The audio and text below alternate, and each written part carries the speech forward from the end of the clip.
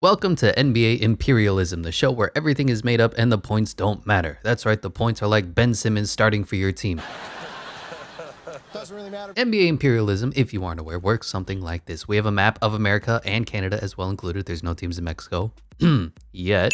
And what we are going to do is determine who is the true superpower of America and Canada to a lesser extent. We have a wheel with all 30 NBA teams. It's going to spin in really, really low res, janky JavaScript. I don't know why this is so slow. Uh, for some reason, this page is completely crashing. But let's say we have the Denver Nuggets here, and then you go to the next wheel and you say, all right, Denver, what direction do you want to go on the map of America? It says they want to go north, east, you go over to the map in Photoshop and you see Denver here and they go, oh, well, let's go take over whatever state this is Nebraska, Washington. I don't know the states. I'm sorry. I'm good at basketball, not good at geography. And so what happens is you go into this state, you take it over with the Denver Nuggets, and the Denver Nuggets start to grow and start their map in their march on America. Then you go to the actual 2K rosters and you look at the players and they get a one overall boost to whoever the best player is on the team. In this case, Nikola Jokic would get the one overall boost. Now, let's say you spin the wheel and it turns out that they want to go west and attack the Utah Jazz or whatever. That means you're going to have a tournament, a winner take all one game elimination tournament of the Denver Nuggets at the Utah Jazz. Denver being the rolling team will be on the attack. Jazz will be the home team. And the winner of that game gets to pick up the best player from the other team as well as get that one overall attribute boost. If all that is too confusing for you, don't worry, just stick along, watch the video, and you will pick it up in short order. The only thing is, if you may have noticed by the title, we are going to be doing all-time teams. That means guys like Magic Johnson and Kobe Bryant, Shaquille O'Neal, Tracy McGrady. Every single team is going to have their collection of the best players in the history on their team, and we're going to be going to see who is the best team of all time in America and a little bit of Toronto as well. I don't think the Vancouver Grizzlies are going to be having a team they're going to be technically registered as the Memphis Grizzlies. Little things like that we're not going to be able to update at this point. Maybe we'll do that in the future down the road. But let's start with the first spin of the wheel. Let's see who's going to be the first team moving in NBA imperialism for all time teams. I don't know why this app is so broken right now. It's it's really like janky, moving at two frames a second. But it looks like the Brooklyn Nets now without Kevin Durant and Kyrie Irving, but maybe those guys are going to be on the all-time team. Are on the move. They're the first team in the NBA imperialism. But what direction can they really go? We take a peek at the map here, and I say, all right, um, they can they can go north because I gave them this little this little uh, uh, Manhattan Island here. It's tough to put the Brooklyn Nets and the New York Knicks in New York just because New York is, I mean, they're they're literally a bridge away from each other. But they could take over, you know, Connecticut, Rhode Island if they go north. They could have this little strip. What is that? New Jersey. If they want to go south, they could try to take on the Knicks if they go uh, north northwest at all. Maybe they'll even take on the Philadelphia 76ers. But the Nets are in kind of a precarious spot. Starting with the wheel, spin the wheel. What direction are the Nets going to go? They want to go directly north, directly up, directly in that direction of, you know what? You know what? We'll give him Connecticut. I know it's really tiny here, and if the Brooklyn or the Boston Celtics logo is actually covering Rhode Island as well, just this, the East Coast is so compact. We'll give the Brooklyn Nets Connecticut. Just fill out the map a little bit, cover up a little water, cover up some of the borders. The East Coast, man, they are just so compact out there. I don't know how they live. Have you ever tried to drive in East Coast traffic? Whoo! That is going to be the first team, and they're going to get the one overall boost too. I guess we'll give it to Julius Erving. Have him join the 99 overall squad. Looks like they don't have any 99 overalls on their team. Julius Erving. Oh, he's a 97 overall. I was looking at his layup skill. I'm a, I'm a, I'm a dumb. All right. What do you want from me? Okay. Julius Erving now a 98 overall. Just looking at their team, they do have Jason Kidd, James Harden, I guess the shooting guard, Julius Erving, Dr. J, Kevin Durant, and Brook Lopez. Yeah, okay. All right. Interesting team. Off the bench is uh Drazen Petrovic. Vince Carter, I remember. Kyrie Irving is uh, Richard Jefferson on this list. He is 87 overall. Richard back in his prime used to be a monster. Kenyon Martin, Keith Van Horn. Oh, I miss some of these guys. Yeah, that is going to be the Brooklyn Nets first move. Make sure they get off the wheel. Okay, Brooklyn Nets, thank you for playing. You are off of this list. I don't know which one of these to select. It probably doesn't matter. Next team, on the wheel, spinning, spinning, spinning. Round two of NBA imperialism is the Minnesota Timberwolves. Minnesota is one of these teams that always seems to end up with a ton of land, but they never really play enough players to or enough teams to get a really good competitive team. So they go east, they got the Milwaukee Bucks. They go north, they got the Raptors. Other than that, they are going to be stuck with some of these states getting one overall boost. Spin the wheel, spin the arrow. What direction they're going? Northeast. Why is everyone going northeast, man? What, what is what is wrong with our peoples? Northeast. Don't know. Direction that is. Is that Canada? I think it's Canada. I think they're taking on the Toronto Raptors. All right, the all-time Minnesota Timberwolves will be taking on the all-time Toronto Raptors. Taking a quick peek at the teams, you got the Timberwolves on the road with Sam Cassell as their point guard, Jimmy Butler. Y'all remember Jimmy on the Timberwolves for one season.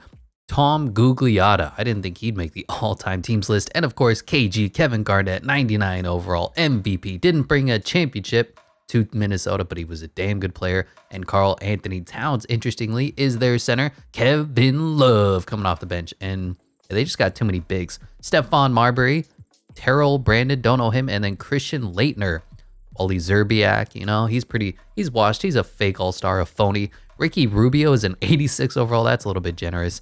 Andrew Wiggins, Latrell Sprewell, Isaiah Rider. Interesting team. Definitely for the Raptors, you got Mr. Toronto, Kyle Lowry, back when he was good, back when he was still able to play basketball and not get hurt every single season. DeMar DeRozan, man, has he bounced around ever since that Kawhi trade. Kawhi Leonard, of course, aforementioned 96 overall. I don't know why they put him in that jersey for the Raptors. Christopher Bosh and Andre Bargnani is their best center. Definitely a weak spot. Vince Carter, of course. Damon Stoudamire, Pascal Siakam, apparently one of the best players already in Toronto Raptor history. Morris Peterson, T Mac, Tracy McGrady when he was super young at this point, right? How old was T Mac? 20 years old. Antonio Davis, there's a name I haven't heard in a while. Doug Christie? I only remember his Sacramento days. Okay. Fred VanVleet making the list. So is Jonas Valanciunas and Serge Ibaka going to be one heck of a game. Here you go. Minnesota all-time Timberwolves at the Toronto all-time Raptors. Sam Cassell versus Kyle Lowry. Jimmy Buckets versus DeMar DeRozan. Tom Gugliotta versus Kawhi Leonard. Oof. Kevin Garnett versus Chris Bosh. Going to be fun. And Andre Bargnani versus Carl Anthony Towns. And we'll do the same thing we did the last Imperial video. We'll watch a few possessions at the beginning of the game and hopefully the end of the game. If it's close, we'll have an epic, close, wire-to-wire -wire game as well. Tom Gugliotta holding the ball, not doing anything with his damn life. Kicks it to Jimmy Butler in the post guarded by DeMar. Two players in the NBA right now, and Jimmy Buckets misses, doesn't get his own rebound. And here comes the Raptors the other way. DeMar DeRozan facilitating for the Raptors. He's just going to go ISO, hero ball, post up, mid-range, fade, miss. Okay, Cat tips the rebound to Jimmy Buckets. Looks like there's only two players that are actually trying to play this game. Karl-Anthony Towns streaking down the court and lays it up over Andre Bargnani, getting the first points of the game for the Minnesota Timberwolves. Looks like Minnesota's jumping out to a quick lead close game here in the second quarter going into the third. And we have a back and forth contest. Looks like the Raptors now up about 11 points here in a high scoring contest in the fourth quarter. Nine minutes left, about a 12 point lead. The Timberwolves are going to have to make it close. They're going to have to go on a little bit of a run. Otherwise, they are going to fall short. Looks like they are falling a little bit short. It's now a 13 point lead, one minute left. And it looks like the Toronto Raptors are going to eliminate the Minnesota Timberwolves in the first game of NBA imperialism. Chris Bosh had a very good game, 24 9. Kawhi Leonard with a triple double 22, 11, 11. Vince Carter off the bench was serviceable, 21 points for him. Kyle Lowry gave you 23 and 9. DeMar DeRozan gave you 19. Damon Stoudamire gave you 15, 13. Pascal, good game for Raptors. Timberwolves, Kevin Garnett led the way 27 and 10. Jimmy Buckets was solid, 21, 4 and 8. Kevin Love gave you 17 and 6. Terrell Brandon, uh, Karl Towns didn't step up. Thomas Gugliotta and Christian Laettner were probably not very good options. Who else didn't play well? Stephon Marbury, yeah, they just didn't get enough for their point guards. They did. Yeah, you know what? I think what was holding them back was Tom Gugliotta, the guy who we made fun of at the start of the entire game. So, unfortunately, looks like the Raptors are going to take game one. And I know that Toronto's weight on here, but they have all of Canada. That means Minnesota is gone. Good luck. Thank you for trying, but you have officially gotten eliminated. In Minnesota, there. Darn tootin', Minnesota is now a part of Canada according to the imperialism rules. Fill that out, make that look nice, and let's make sure the teams are off the list. Timberwolves eliminated. And I'm going to take the Raptors off too, just because they got their spin, speed it up a little bit, make sure every team gets at least one go. Also, make sure that the players get their overall boost. No surprises here. Kevin Garnett is officially a Toronto Raptor. Looking at the team now, it's Kyle Lowry, Vince Carter, Kawhi Leonard, and Kevin Garnett. Andre Bargnani still here as well. And one thing that I did see you guys say is that you want to give the overall boost to somebody who wasn't on the team already. So Kevin Garnett gonna sit here at the 98 overall. Unfortunately, he's the highest overall, but Kawhi Leonard or Vince Carter is going to get this one overall boost. And I'm thinking we give it to Kawhi. Think we give it to the club. You know what? No, this is an all-time rebuild. This is the best of the best in the history of the game. We'll give it to Vince Carter just because he's been out of the league for a couple years now, up to a 97 overall. Raptors are off the wheel, Timberwolves are off the wheel, and let's spin it again. I don't know why it's so slow. It used to be smoother. I think their servers are overloaded, but the next team going up is the New York Knickerbocker. Can you say that anymore? Is it offensive? Knicks and the Nets, of course. They got the Philadelphia 76ers officially to the south of them. Toronto is still here. So is Boston. And then they got a couple free states over here as well. I believe this is water. I could be wrong because I don't know a damn thing about geography. And what direction does New York want to go? They will be going north. That's is that Toronto again? Is there any way I can I can fake it? I think that's Toronto. Anyway, you already know who the Raptors are with Kevin Garnett, the New York Knicks, they got Walt Frazier as the point guard, Allan Houston as the shooting guard, Carmelo Anthony, New York Melo, Dave DeBusschere. I don't actually know who that is. Huh, look how blurry his picture is. And of course, the legend himself, Willis Reed, coming off the bench is Patrick Ewing, Richie Guerin.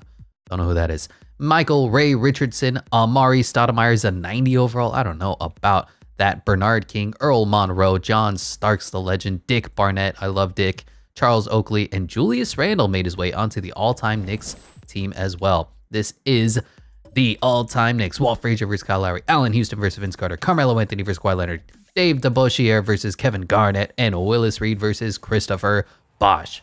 In Toronto, New York Knicks on the attack. They're hunting Scotiabank Arena, if you will, and Chris Bosh wins the tip. They got a big lineup out there in Toronto. Got some great wing players in Kawhi and Vince Carter, but the New York Knicks have history on their side. They have legend on their side. They have Kyle Lowry dribbling the ball, taking the screen, and pulling up from three. New look NBA. Willis Reed grabs the rebound. The Knicks are going to have to play old school. They're going to have to play by two while the Raptors are playing by three. So hopefully defense wins championships. Hopefully defense wins NBA imperialism. Allan Houston pulling up for a long two. Worst shot in the NBA. Kawhi Leonard bringing the ball up the court. We got another defensive masterpiece here. Kevin Garnett pulls up, misses. Dave DeBusschere picks up the ball himself. He's bringing it full court. He's got KG on him. He doesn't care. And I don't know what's going on here. Walt Frazier with a great... What, what do you call that facial hair? It's not sideburns. Draws the foul, and we are not going to be watching free throws. But here we have the all-time New York Knicks with a weird logo. I don't know why these logos are kind of like emboldened in black. The Knicks surprisingly jumping out to a huge lead in the first quarter is Kevin Garnett sandbagging this Toronto Raptors squad. They're losing by 30. The Knicks with history dominated probably the higher overall Toronto Raptors. Kevin Garnett's a 98 overall, Vince Carter 97, Kawhi Leonard 96, and they fall tremendously short on their home court. The New York Knicks march into Canada and take it over. The Big Apple, more like the Big America. Vince Carter had a good game scoring wise, but not really facilitating. 27 points, six turnovers. Chris Bosh was good, 25 and 10. Kevin Garnett, pretty quiet for the highest rated player on the team, 16 and 14. Kawhi Leonard only gave you 15, 3, 4, 2, 1. And uh, that was it. DeMar gave you nothing. Damon Stoudamire gave you nothing. Pascal Siakam as well. As for the next, Willis Reed, Knicks. Willis Reed led the way 24 and 7. Patrick Ewing out the bench 20 and 9. Can you believe Patrick Ewing is coming off the bench?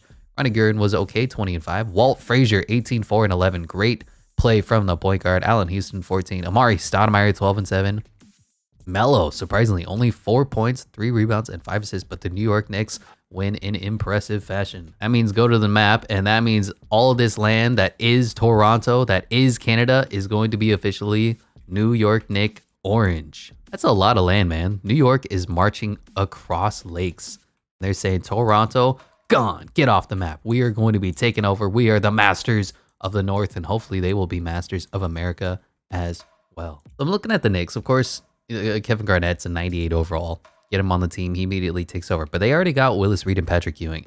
I'm thinking we give him the one overall boosted now 97 overall Vince Carter to start at the shooting guard. So they with it they would go Walt Frazier, Vince Carter, Carmelo Anthony, Willis Reed, Patrick Ewing. So sorry, Kevin Garnett, we are going for the other bald man on Toronto, and he's going now to New York to the Big Apple. Doesn't it feel like Vince Carter should have been a New York Knick, taking over for I guess Dick Barnett. Got to say goodbye to Dick. You know I hate to do it, but Dick is gone, and now Walt Frazier going to be getting an overall boost. He is up to a 98 overall. New York Knicks, thank you for spinning. Get this man off my team, and we will be spinning for the next team now that the New York Knicks have done everything that they need, and it is going to be the Philadelphia 76ers. Man, we love the East Coast out there. What is going on? So Philly, you can see right here, they got Washington to the south. They got, what is this, Virginia, West Virginia, North Virginia, whatever, as well to the south. Cleveland Cavaliers to the west. Brooklyn Nets. Probably not going to be able to take them on. They could take on the Knicks if they go north.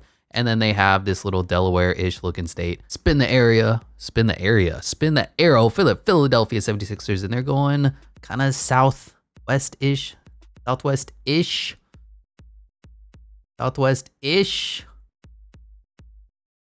Is there a world where I can give them West Virginia? I don't think so. I think that's Cleveland. I think the Philadelphia 76ers are looking to march on to Cleveland because there's no way that this is more south to where I can, yeah, yeah, Philadelphia at Cleveland, gonna be the next matchup. Of course, the 76ers are no strangers to incredible basketball players. They got Allen Iverson, the answer himself, 98 overall at the point guard position, even though he's more of a shooting guard.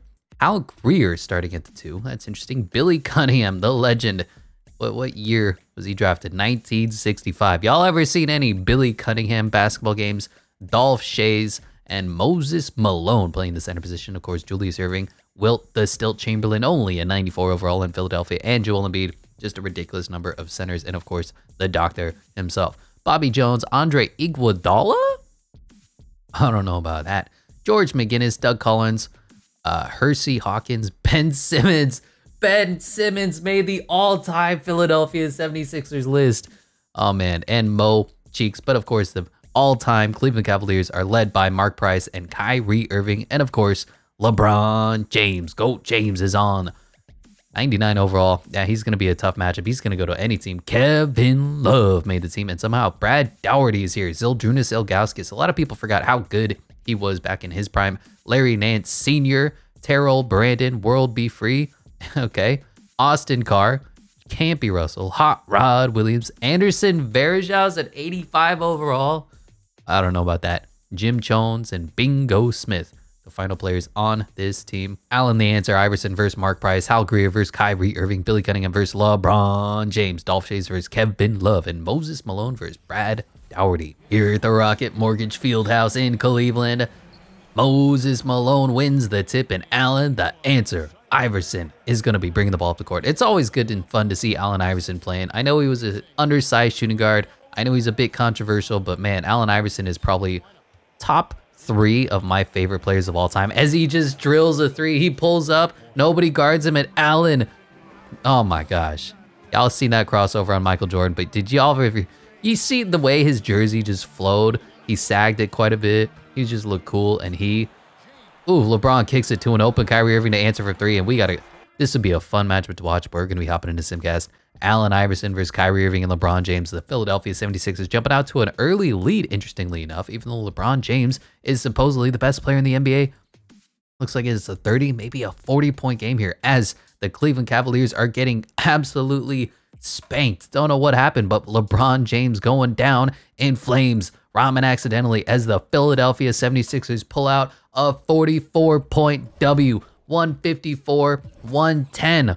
LeBron was serviceable, 25, 7, and 7. Kyrie Irving gave you a 17 on 16 shots. Mark Price, pretty quiet. Terrell Brandon, pretty quiet. World B. Free. Zydrunas Ilgauskas. The depth of the Cavaliers was just not there as the 76ers balled out. Moses Malone, 30 and 7.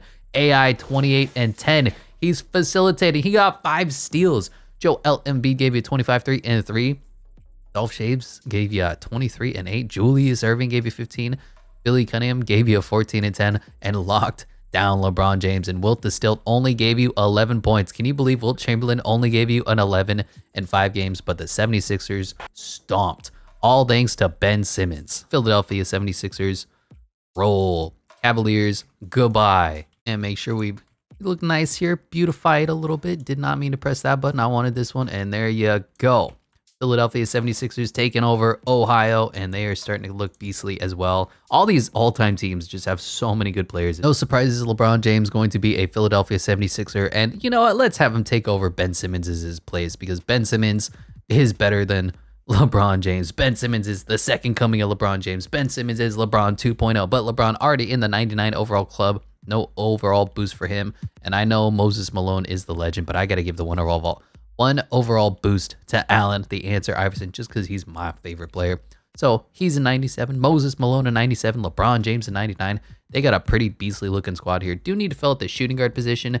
Maybe try to upgrade from Dolph Schayes, but the centers, I mean, they're more than set. Small forward, they're set. Andre Iguodala. and the Cleveland Cavaliers have been eliminated from NBA imperialism. The spinner gets thinner. Next on the list, or the wheel, spinning in slow five frames per second is going to be the Utah Jazz with a pretty storied franchise of their own. Now looking at Utah, what direction and the Jazz go? Pull this up here. Boom, boom, boom, boom. I didn't undo this Denver Nuggets. That's that's fine. That's fine. Let me just paint this real quick. Everybody knows that the Denver Nuggets haven't played yet, so they're gonna sit right here, get a little bit smaller as well because they haven't beat nobody yet. But the Utah Jazz, it could take on the Phoenix Suns to the south. They could take on the Denver Nuggets to the east. They could take over Nevada, could go north. There's a whole bunch of directions that the Utah Jazz can go. Let's spin the wheel. Spinning, spinning, spinning. And it's going, they're going right after Utah. I mean, they're going after uh, the Denver Nuggets. They're saying, you know what? We want to take over Denver, Colorado. Taking a peek at these rosters, and John Stockton is a 98 overall. Pretty impressive. Pistol Pete Maravich, 96 overall. Just could not stop drinking. Adrian Dantley's a 93 overall. Karl Malone, Man, does he love kids. 98 overall. Mark Eaton, 90 overall. Andre Kirilenko, AK-47 is a 91 overall. Gordon Hayward, an 89. I don't know about that. Donovan Mitchell, Carlos Boozer, Rudy Gobert makes the list. Look how young Rudy looks back here. This is before he knew that everybody was going to hate because he could not play offense to save his life. Darrell Griffith, Deron Williams. Remember when he was in conversation with Chris Paul as the best point guard in the league? Ooh, Truck Robinson, Thurl Bailey. These are names I don't know. Jeff Hornacek, made the list as well. And nine man rotation. Other than that, we're not going to be changing anything. As for the Nuggets, they got Fat Lever, David Thompson, Carmelo Anthony, Dan Issel, Nikola Jokic, Alex English is only on the bench. They have the, the Nuggets definitely have a storied history, but they do not.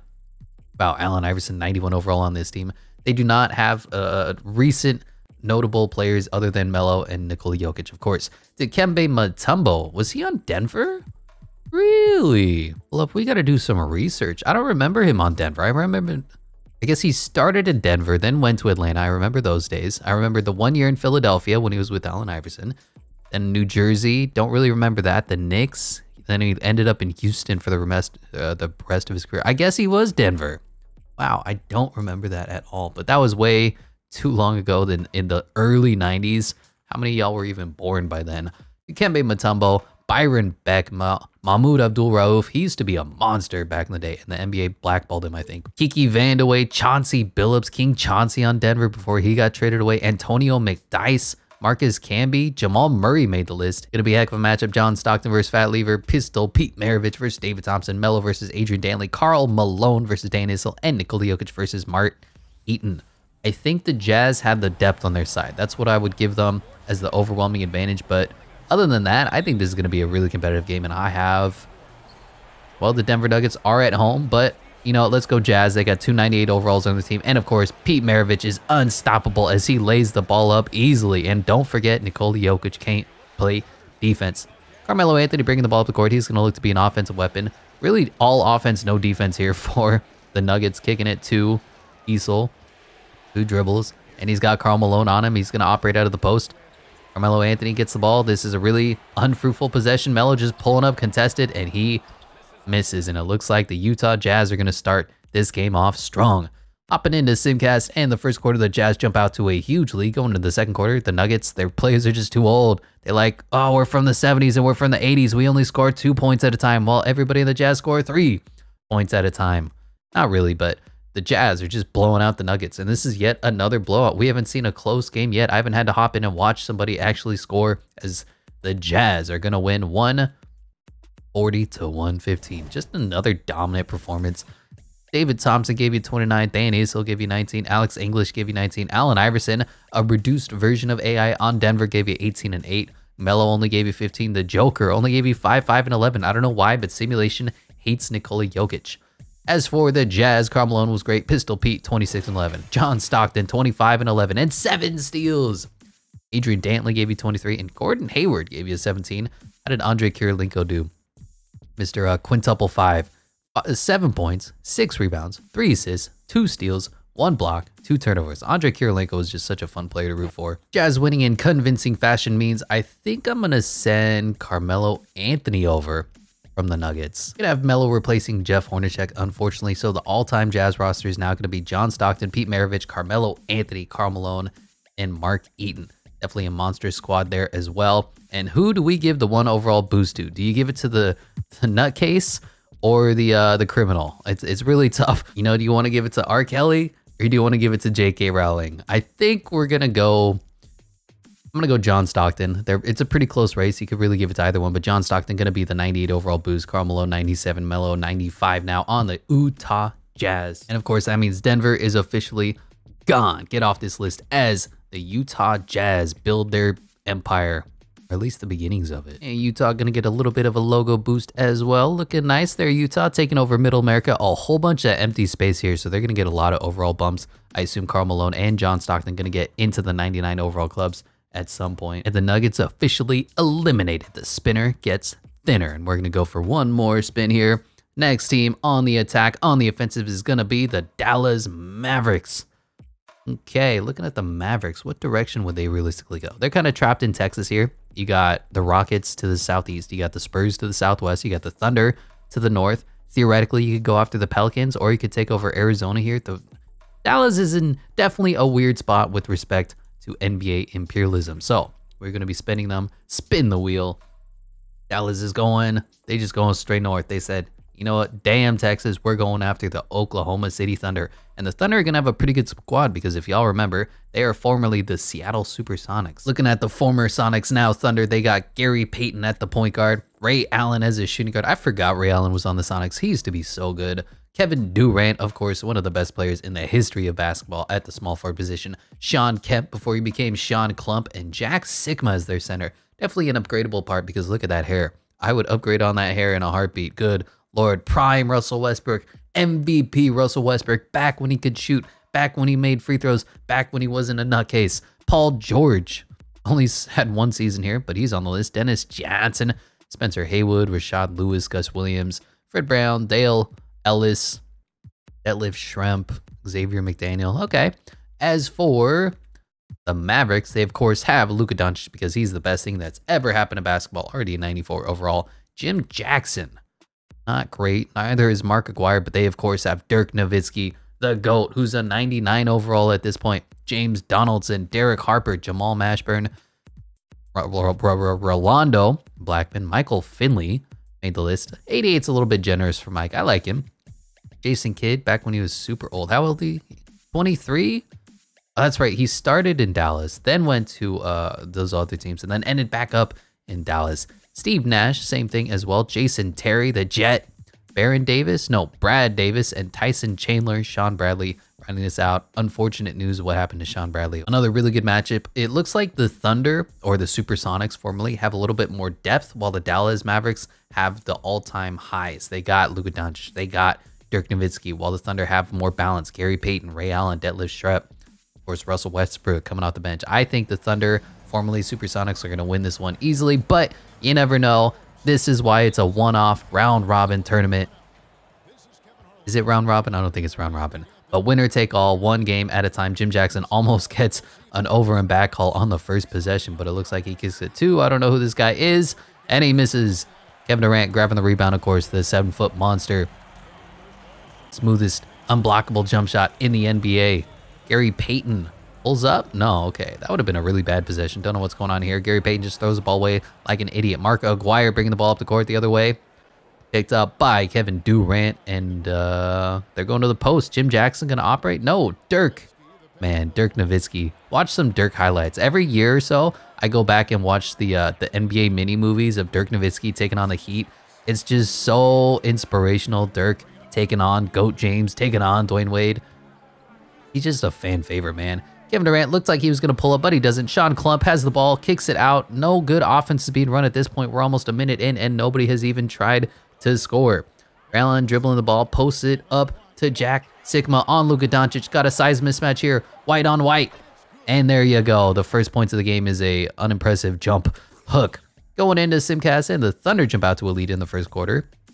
Like I said, the Mavericks have the star power, but the Thunder have the depth. And of course, they have their own stars as well. Oh, I completely that up, but it looks like it was a close one. And the Thunder win 121-113. Shawn Kemp led the way with 20 points, 6 rebounds, 3 assists. Paul George, 19, 2, and 3. Kevin Durant gave you 16, 8, and 5. Gary Payton, 15, 5, and 6. No steals. Gabe Russell gave you 14, 4, and 10.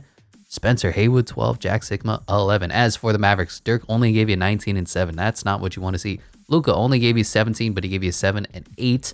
Mark Aguirre 14. Just not a lot of scoring in this one. As the Mavericks fall to the Thunder 121-113. And unfortunately say goodbye Dallas as it looks like this blue is going to become a Thunder burnt orange. There go. Beautify this a little bit. Make it look nice. And there you go. Thunder and really the Supersonics. We should put the Sonics logo here.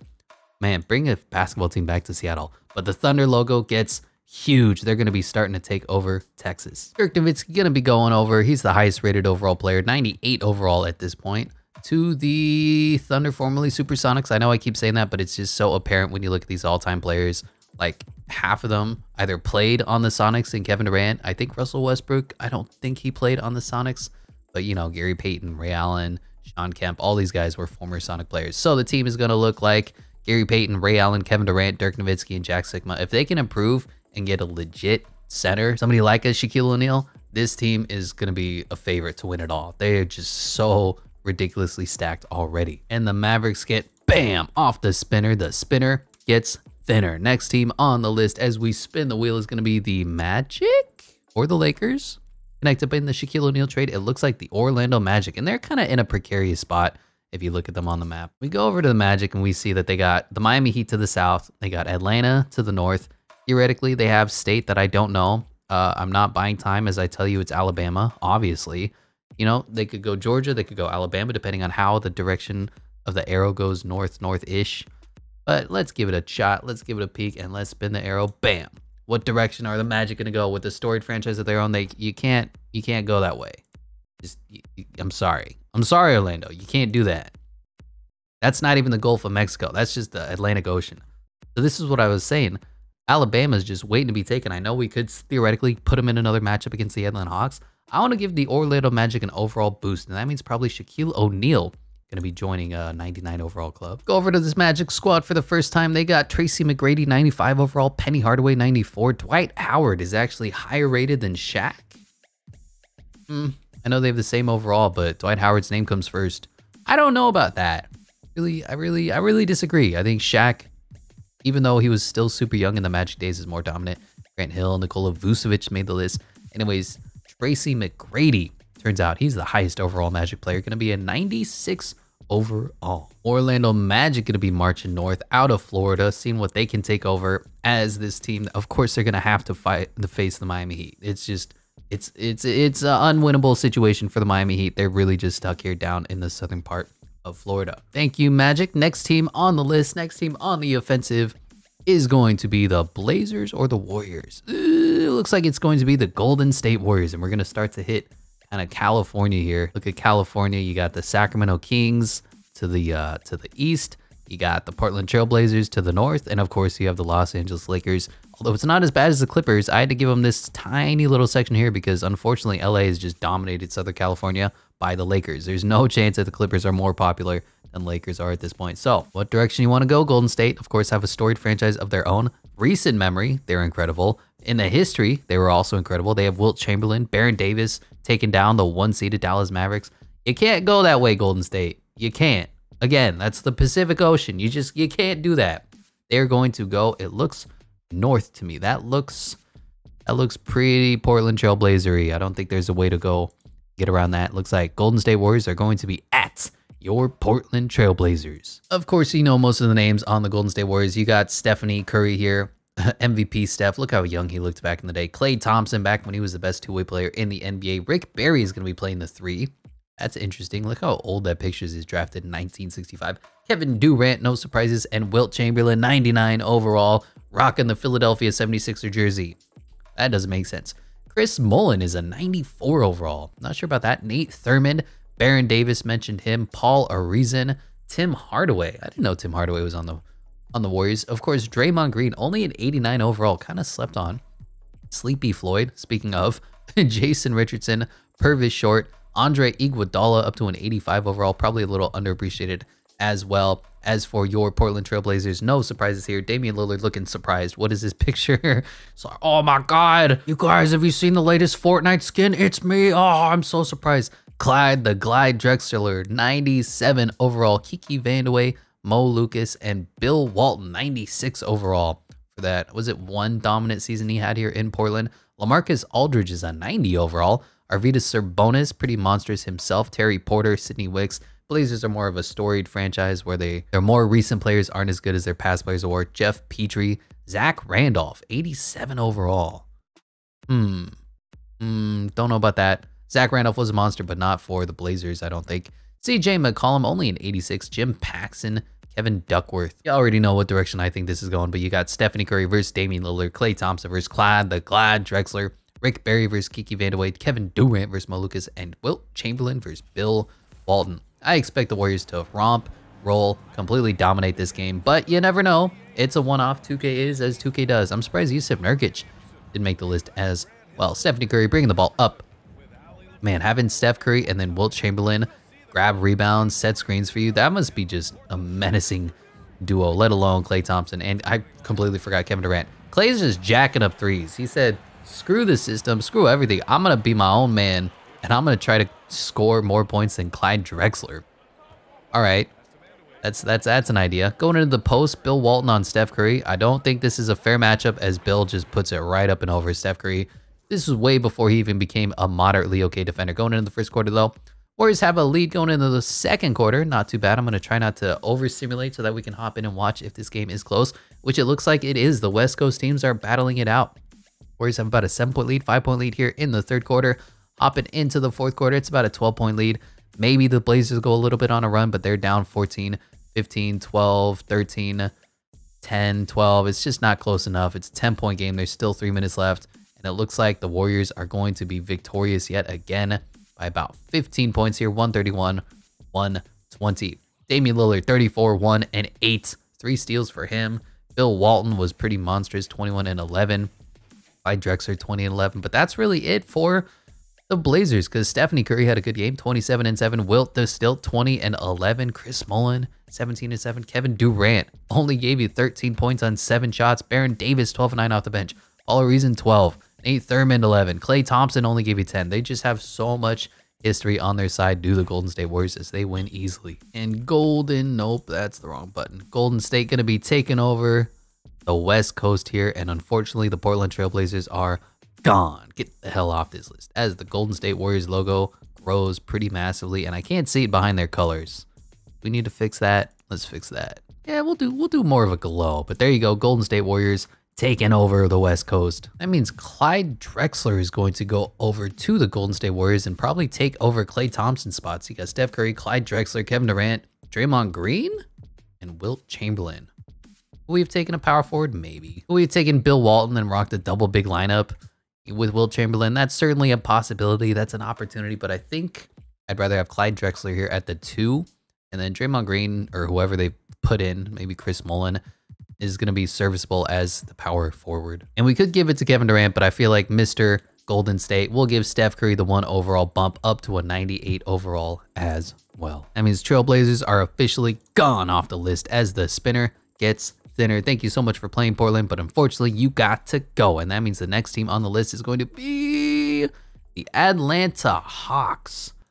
All right, going back east. So you look at them, we had the Magic kind of dance around them, try to avoid them. So they do have to take on the Magic if they go south or if they go west at all. They do have this, I guess, South Carolina. Is that the state I'm looking at?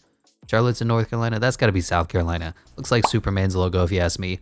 They got South Carolina to the east. They got Charlotte, theoretically, if it's like this tiny little sliver here north. And then, of course, they have the Memphis Grizzlies as well. Probably going to be the Magic, all things being equal. But let's see what direction do the Hawks want to go spin the wheel, and they're going. Uh, I don't know about that. You can't go that way. Where's that? Where's that SpongeBob meme? How, many, times, do I have to tell you, old man? You can't go that way. All right, they're going northwest. I like having my my my my imperialism take funny shapes. I feel like it just makes it a little more interesting. So instead of taking on the Magic, We're going to have them go after Memphis. The Atlanta Hawks all-time history is going to go after the Vancouver Grizzlies and the Memphis Grizzlies history of basketball. Taking a quick peek at the teams, you got Trae Young at the point guard position for the Hawks, best in the history. Steve Smith, 87 overall. Dominique Wilkins, 95 overall. Bob Pettit, man, how old is this picture? Drafted 1954. And Dikembe Mutombo. Cliff Hagan coming off the bench with Lou Hudson. I don't know who these players are. Joe Caldwell, not to be confused with Jim Caldwell. Look at his face. He's just so excited. Doc Rivers, the non-head coach, the player, before he went to Boston, maybe after. ISO Joe made the list, 89 overall. Paul Millsap, Pistol Pete Maravich with his god hair. Look at that thing. Kevin Willis, Josh Smith made the list. Al Horford, Big Al was on the team if y'all remember him. Looking at the all-time Grizzlies, you got John Moore and I guess he is the best point guard now. He's like a 93 overall, even though he loves pointing guns at people. Tony Allen. Interesting. Second, or I guess the best shooting guard. Shane Battier. Yeah, the Grizzlies do not have a storied franchise here. Of course, Zach Randolph and Pau Gasol, as well as Marc Gasol, just monstrous big men. Or the Memphis, also known as Vancouver Grizzlies. Memphis, Mike Conley, and 89 overall. Michael Bibby, 86, uh, 86 overall. Is White Chocolate on the list? Shareef Abdur-Rahim was a monster as well. Bryant Reeves, there he is. White Chocolate, Jason Williams, just happy to be here. The first man to ever do the behind the back elbow pass. Rudy Gay, back when he was good. Jonas Valanciunas was on the team for a couple seasons. Jaren Jackson Jr. made the list, and so did Mike Miller and Greg Anthony. Yeah, not a great team.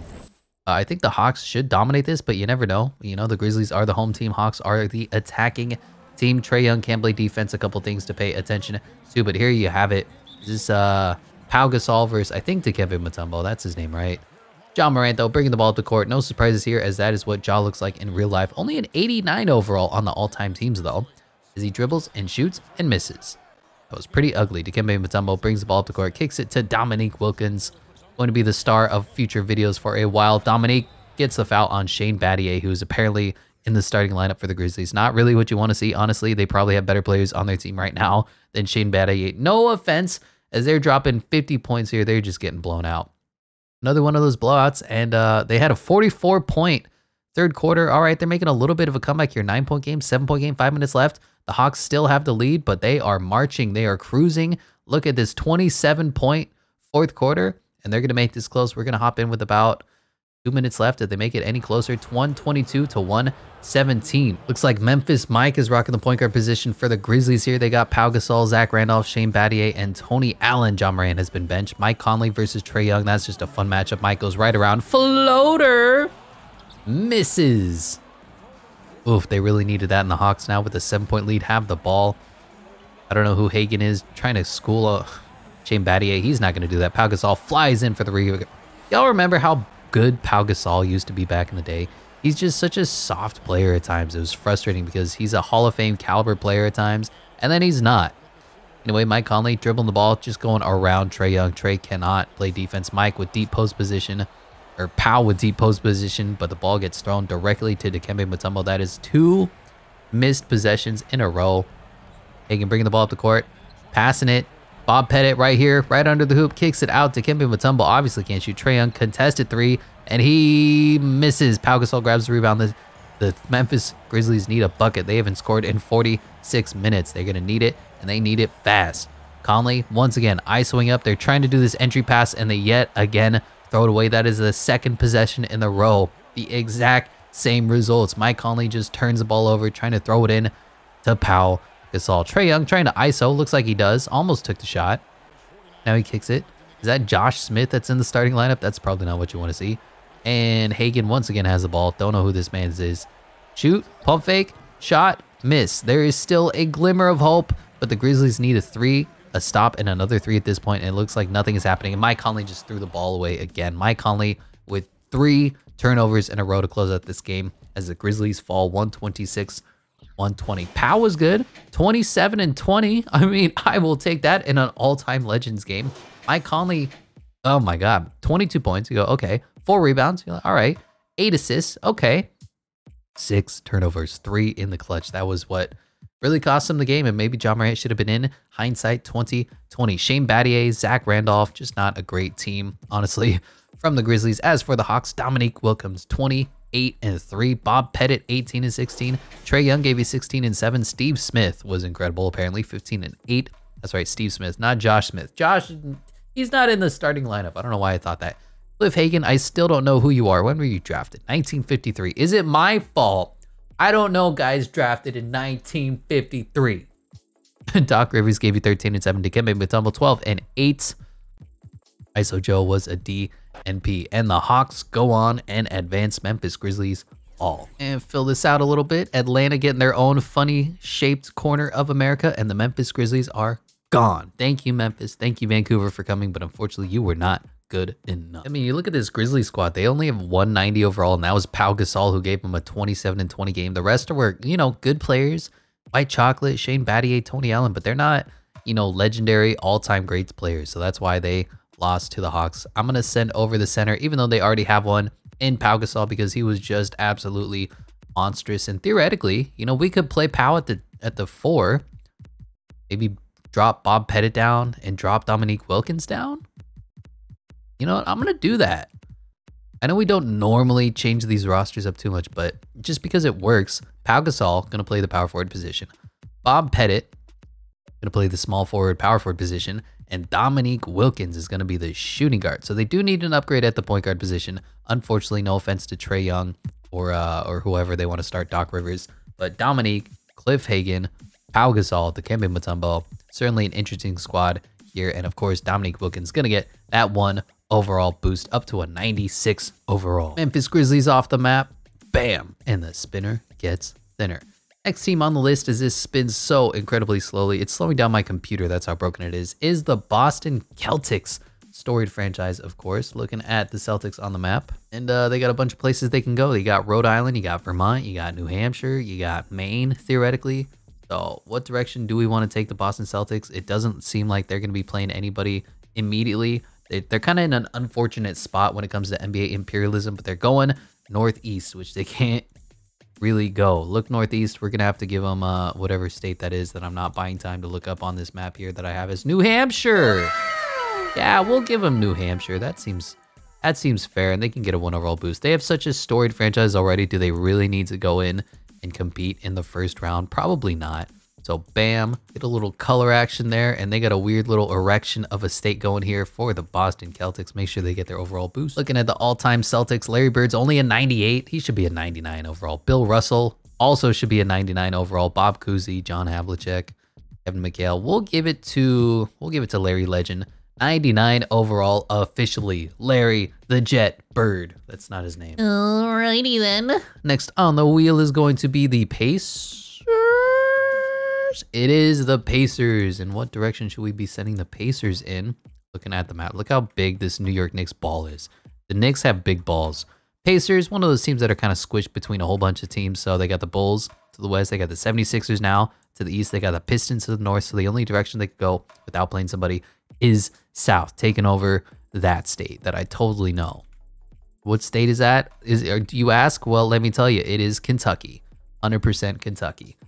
anyway, looking at the arrow, what direction do the Pacers eventually decide to go? They go mm, kind of in between. I think that 76ers though, again, which is not ideal. I'd like them to take on the Pistons, but it looks like it's going to be Pacers at 76ers. Not gonna say this is gonna be a complete mismatch, but checking out this Pacers squad here, you got Freddie Lewis at the one, Victor Oladipo at the two, Paul George at the three. That's respectable. I'll give you that.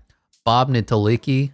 Netolicky, I don't even know who you are, sir. 1967 at the four. Mel Daniels at the five. Jermaine O'Neal coming off the bench. George McGinnis was okay. Danny Granger. I mean, if Danny Granger is on your team's all-time players list, you got a problem. Ron Artest. Man, Ron Artest, when he was in his prime, used to be so good. Chuck Person. Then he started hitting people. Don Busey. Rick Smits. Domantas Sabonis made the list. Roy Hibbert. Uh, and Mark Jackson. I can see Mark Jackson, totally fine with that. The rest is just uh, not going to be a great squad, but here you are. Pacers at the 76ers. Freddie Lewis versus Allen Iverson. Oof. Victor Oladipo versus Julius Erving. Oof. Paul George versus LeBron James. You always know who won that back in the day. Bob Netolicky and Dolph Schayes, two players that I don't really know. And Mel Daniels versus Moses Malone. Likely to be a blowout. But once again, I say it the first time, I'll say it again. You never know because NBA 2K23 is wild. It's weird. And here you go, Allen Iverson bringing the ball up the court for your Philadelphia 76ers. And not a lot happening here, kicking it. I moved Dr. J to the two, so LeBron James is playing the three, Allen Iverson playing the one. I felt like it got more 90 overalls on the team as we just get a foul in the first shot. And I'm not even going to watch that because the 76ers are going to win by 47 points going into the first quarter with the lead. Back and forth game here in the second quarter, and the Pacers actually have a little bit of lead. Now, wow, look at this third quarter. The 76ers are absolutely romping and rolling going into the fourth, and this is a lot closer than I expected. 97 to 85. Pacers go on a little bit of run cut into this deficit. It'll be a close game, and maybe they'll have a chance to win. Probably not going to happen though. Seven point game, five point game here, three minutes left. And you know what? This is a close game. 105, 102. Wilt Chamberlain inbounding the ball. This was way closer than I expected. And I got to give credit where credit is due. Also, why is my audio not working? Game, do you have audio? Game, game. Yeah, audio's just gone. Uh, I think I have to restart the PS5, and that's going to be a whole nother problem. Maybe I have to restart my computer. That's going to be a whole nother problem. You know what? We're just going to watch this without audio. I'll put in some some really hilarious music as Joel Embiid throws it down over McDaniels. Look at Joel Embiid, the process, the monster, wearing a headband, yamming it. And the 76ers jump out to a five-point lead, two and a half minutes left. Paul George bringing the ball up the other way, and they need a timeout. Uh, yeah, I was playing with settings there. Jermaine O'Neal just dunked the ball. Uh, I don't know why there's no audio. I pressed so many buttons. There's so many things that I have to keep track of. Now my PC is failing too. It's frustrating, to say the least. But hey, you never know. It's a three-point game. Philadelphia 76ers versus the Indiana Pacers. 107, 104. Still two and a half minutes left. Been a really low-scoring contest as LeBron James jacks up a three, but he missed. You know, LeBron James not known for his three-point shooting. Daniels is going to pass the ball to Paul George. No, he's just dribbling the ball around. And Paul George now has the ball guarded by the better wing player and LeBron James, at least in the overalls department. Allen Iverson trying to D up and Paul George going around. Doesn't quite. Daniels has the step, draws the foul, gets the and one on Wilt Chamberlain as he's about to have the opportunity to tie this game up. The Pacers are on upset alert right now. Whoo! Do you believe in miracles? Wilt Chamberlain in shock. Daniels makes the free throw and it is tied up. Two minutes left. 107, 107 here in the Wells Fargo Center. LeBron James in disbelief, bringing the ball up the court. This has to go to Allen Iverson, right? LeBron trying to ISO on Paul George, their best player, gets the shot off and it's blocked. Daniels blocking it from behind. Victor Oladipo now guarded by Dr. J. Talk about a mismatch, but it's 2K. Victor Oladipo kicks it to Jermaine O'Neal, who goes through and gets a foul himself, bailed out by the referees. Dolph Schayes is in disbelief himself. Look how big his nose is. Jermaine O'Neal going to the free throw line to possibly get the first lead for the Pacers since the beginning of this game. And here he is, Jermaine O'Neal, for big clutch buckets. First free throw's up, and he missed. Ooh, the second one is always the most nervous. Here's Jermaine O'Neal, hand shaking, backs are getting tight, and he shots and he misses two in a row. Chicken wings for everybody.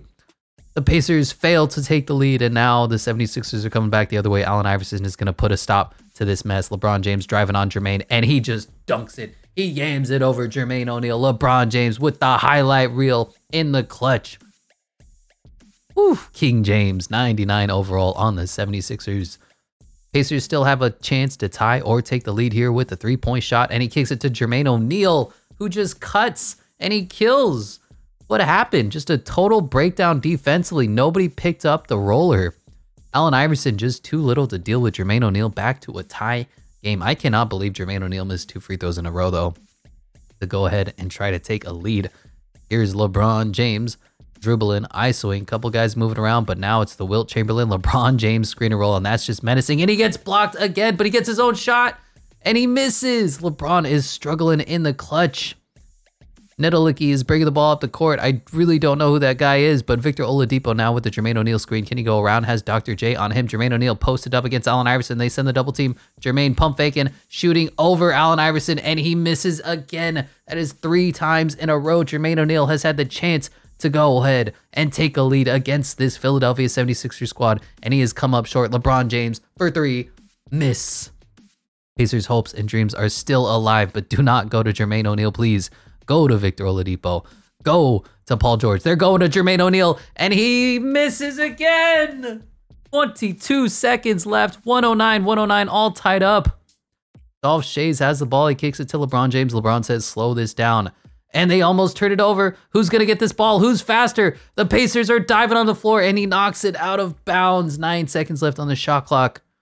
And the 76ers call a timeout. Man, if only we had audio going on right now.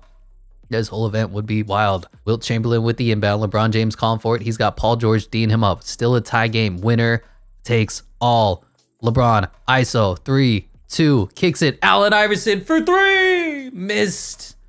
And the Pacers have the ball, four seconds left for them to take a game winning shot and upset the overwhelming favorites with Wilt Chamberlain, with LeBron James, with Moses Malone, with Allen Iverson, with Dr. J. The 76ers are on the brink. They need to stop and they need to force overtime here. And Netolicky is inbounding the ball. He can't find anybody yet. Now he gets it to Oladipo, who throws an alley-oop stupidly, but there's a shot. Netolicky for the win! And he missed! We're going to overtime! Woo! What a game here. What a game. What a game. And here we are on the inbound and uh, the Pacers win the tip. Can I can I save this? I can't save and quit. Damn. Yeah, there's no way for me to exit out of this without completely losing all our progress. So it's just going to be Pacers versus 76ers. No audio as Victor Oladipo gets swatted at the rim. Dr. J bringing the ball up the other way. Once again, the overwhelming favorites just get two points as Dolph Schayes just lays it up too easy. Look at him with the wingspan. No defense is being played by the Pacers. They're gassed. They're tired. Pacers coming the other way now at a two point deficit, four and a half minutes to go. Gary Busey has the ball. And what is this play going to be? It's an action for Paul George, who's open. Pump fakes, gets around. Midi misses. And that's going to be a two point lead now for the Philadelphia 76ers. Hopping into Simcast back and forth game here in the fourth quarter. We'll hop in with about a minute and a half left. 76ers have a two point lead yet again. Paul George gets the inbound pass, of course, being picked up all the way by LeBron James. Paul George versus LeBron. We've seen this matchup so many times in the annals of history. Paul George going around has the mismatch Netolicky stuck, kicks it, kicks it. Don't know what this play is, but nothing came out of that screen and roll. That was a little bit weird action. Paul George just pulling up for three. Oh, and he missed. He wanted that shot bad, but he's he's not Steph Curry. He's Paulus George. LeBron for three. Splash. 99 overall five point lead for the 76ers. And this is why we have NBA imperialism to see guys like LeBron take over in clutch moments. Paul George going to need to get clutch himself, but it doesn't look like it's going to happen. There's one and a half minutes left. Might be too little, too late. Paul George trying to draw the foul, gets the end one, and he misses. Paul George, also no stranger to choking on clutch free throws. Only one of three from the free throw line today. First one is up and in. Second one is up. And in two for two, back to a three point game, one minute, seven seconds left for your Philadelphia 76ers. Probably the favorites alongside the New York Knicks and maybe the Celtics right now to win it all. LeBron James, again, I swing up on Paul George. He says, I want this matchup. He shoots up a floater and misses. Pacers going the other way. Netolicky dribbling the ball, I swing around. He's attacking Allen Iverson too little, and he gets the bucket. 122, 123. Allen Iverson looking to be a defensive liability here. The Steel King needs to make up for it on the offensive end, bringing the ball up the other way. Only a one point game, 40 seconds left on the clock. Gets the screen for Moses. He's attacking, and there's not a lot here. Pulls up from mid and splash. That's how you do it. Back up to a three point lead. Pacers about to get back into desperation mode at this point. 36 seconds left, down by three. Paul George accepts the inbound. Yet again, Paul George isoing. Yet again, Paul George trying to make it clutch. Looks like Jermaine O'Neal is gone, and Paul George just jacks up a three stupidly, and that is going to be probably game unless a monumental collapse happens here by the Pacers. Unfortunately, they just come up a little bit short. Jermaine O'Neal misses some clutch shots. Paul George makes some boneheaded decisions, and the game is going to free throws. LeBron James need this and it's a four point game. And LeBron James has the opportunity to make this a five point game, now a two possession game. Only four seconds left. The Pacers need a score, a stop, and a score just to get close. Victor Oladipo calling for the inbound pass. And looks like he gets it. Nobody to pass to. Now Paul George dribbling the ball. Wasting precious seconds here. A couple actions going, but nothing really getting open here. Now Paul George accepts the screen. Is he going to pull up? Is he going to pass? He's going to lay it up, and he gets blocked pathetically, and that is going to be game. After a competitive series, all in all, the Pacers come up just a little bit short, but they fought their hearts out. They had several opportunities to win. Unfortunately, Jermaine O'Neal is not that guy. LeBron, pretty quiet game, 22 7 9. Wilt, pretty quiet game, 19 and 7. Julius Erving was okay. Moses Malone, 18 and 6. Allen Iverson hit that dagger elbow jumper, 17 and the Pacers, man, did they play? If only Jermaine O'Neal was a little bit better. 10 points, 5 of 12 shooting.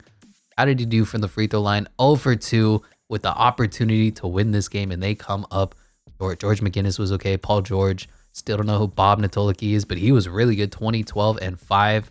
Mel Daniels, 21 and 9, and Victor Oladipo, of course. The Pacers just fall a little bit short. Man, I gotta say that hurts because I was I was really rooting for the upset there. I was like, oh my God, are the Pacers going to upset probably one of the few favorites that are on this list? They, they, they got so close. They had their chances. They had the opportunity to win, and they just came up short. So Pacers gone. 76ers continuing to climb. They're kind of building a wall here in middle America. They're saying, we're going to take over from Delaware to, to Idaho. I don't know, but the 76ers are looking menacing right now. I think we're going to be sending over Paul George just because he's capable of playing so many different positions. Small forward, shooting guard. Going over to the 76ers, and he'll probably take over at the two guard as well.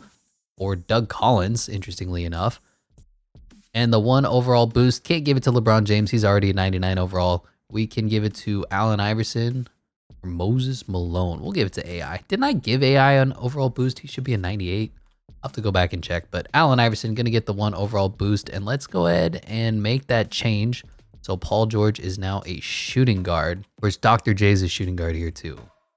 You know, we'll do we'll do both of them shooting. We'll do Dr. J small forward. We'll do Paul George shooting guard. Anyway, their team is going to look even more menacing now. Allen Iverson, Paul George, LeBron James, Dolph Schayes, Moses Malone, Julius Erving, Wilt Chamberlain. The Philadelphia 76ers are completely stacked.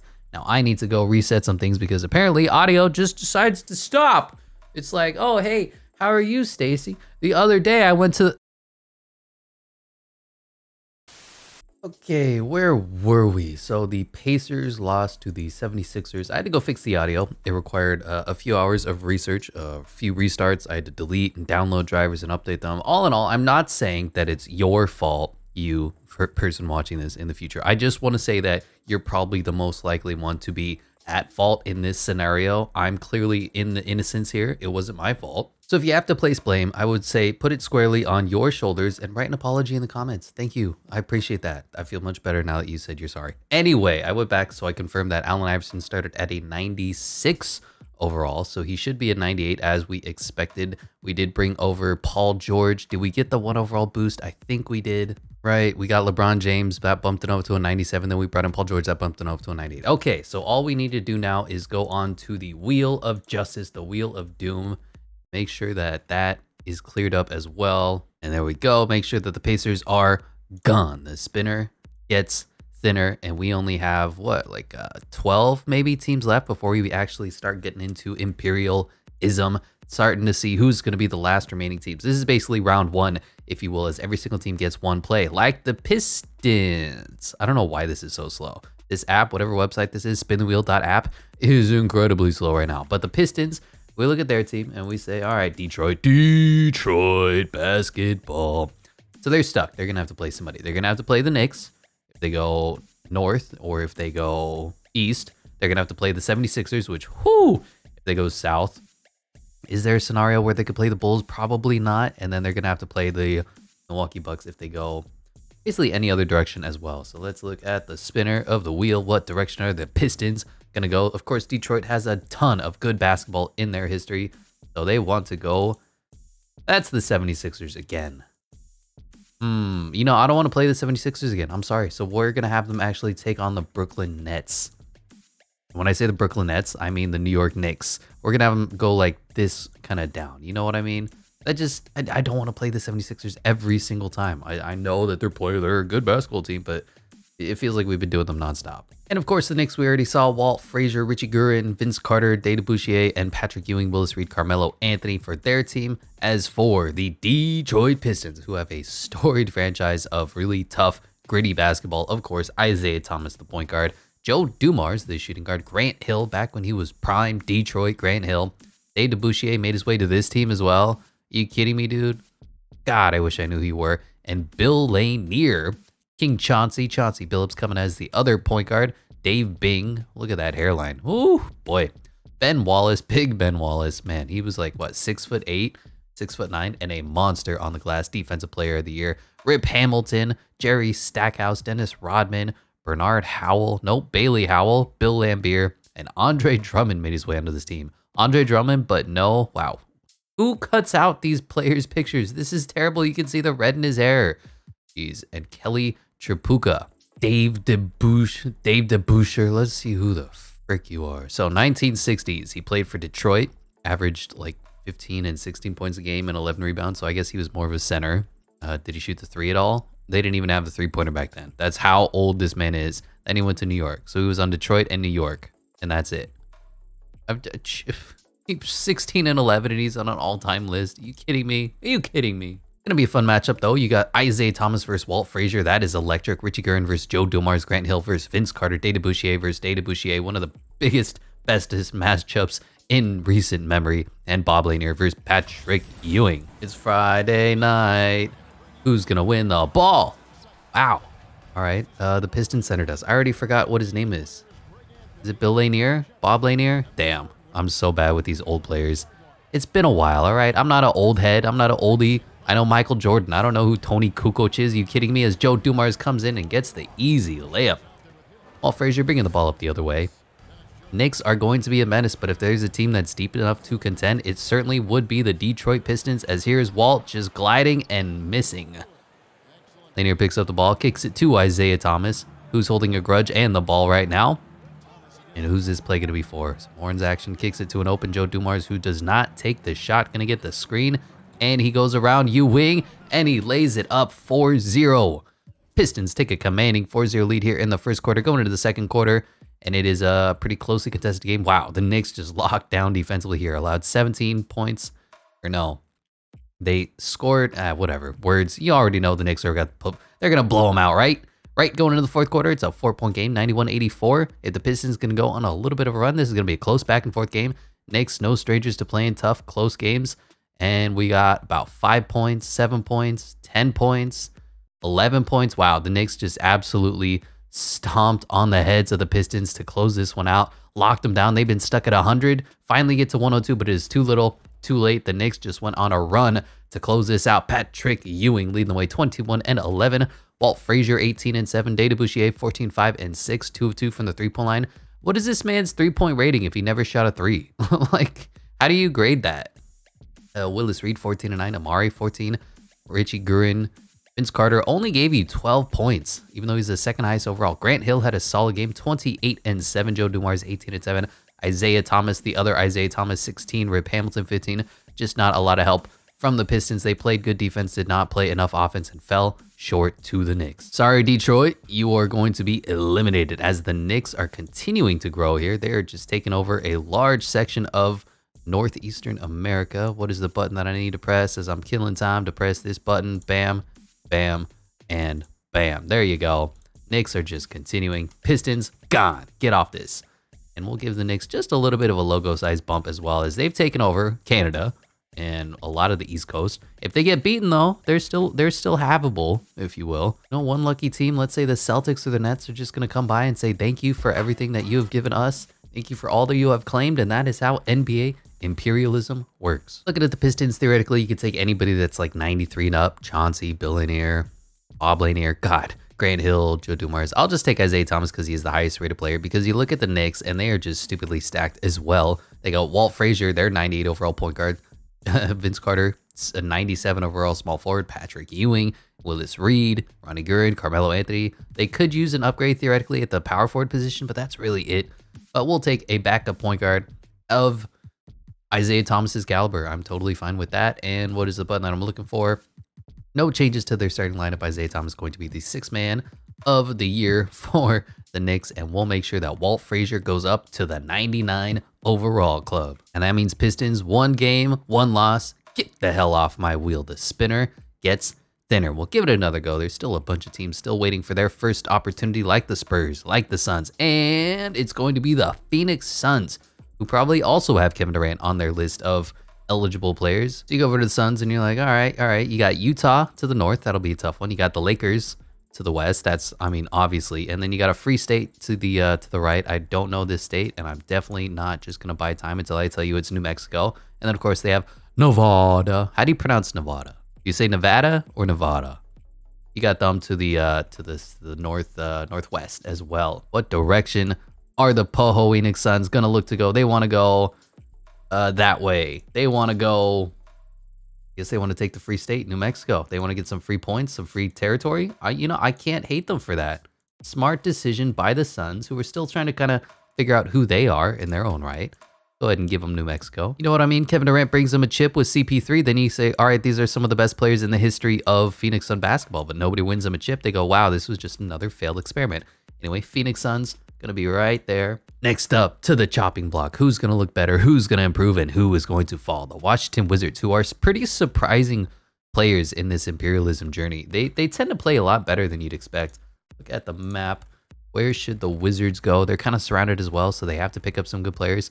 Usually they beat the 76ers and take Joel Embiid.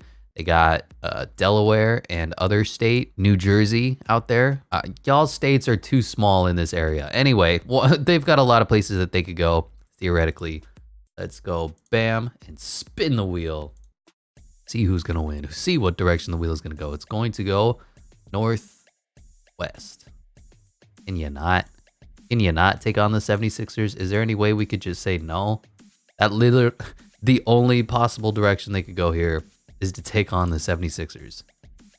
All right, fine, let's do it. Wizards at Sixers. And in case I forgot, here's me giving the Phoenix Suns a one overall boost to their highest rated player, Steve Nash. I'm debating, contemplating putting Kevin Durant on the list, but I think we'll I think we'll leave that out. I think they're plenty good enough.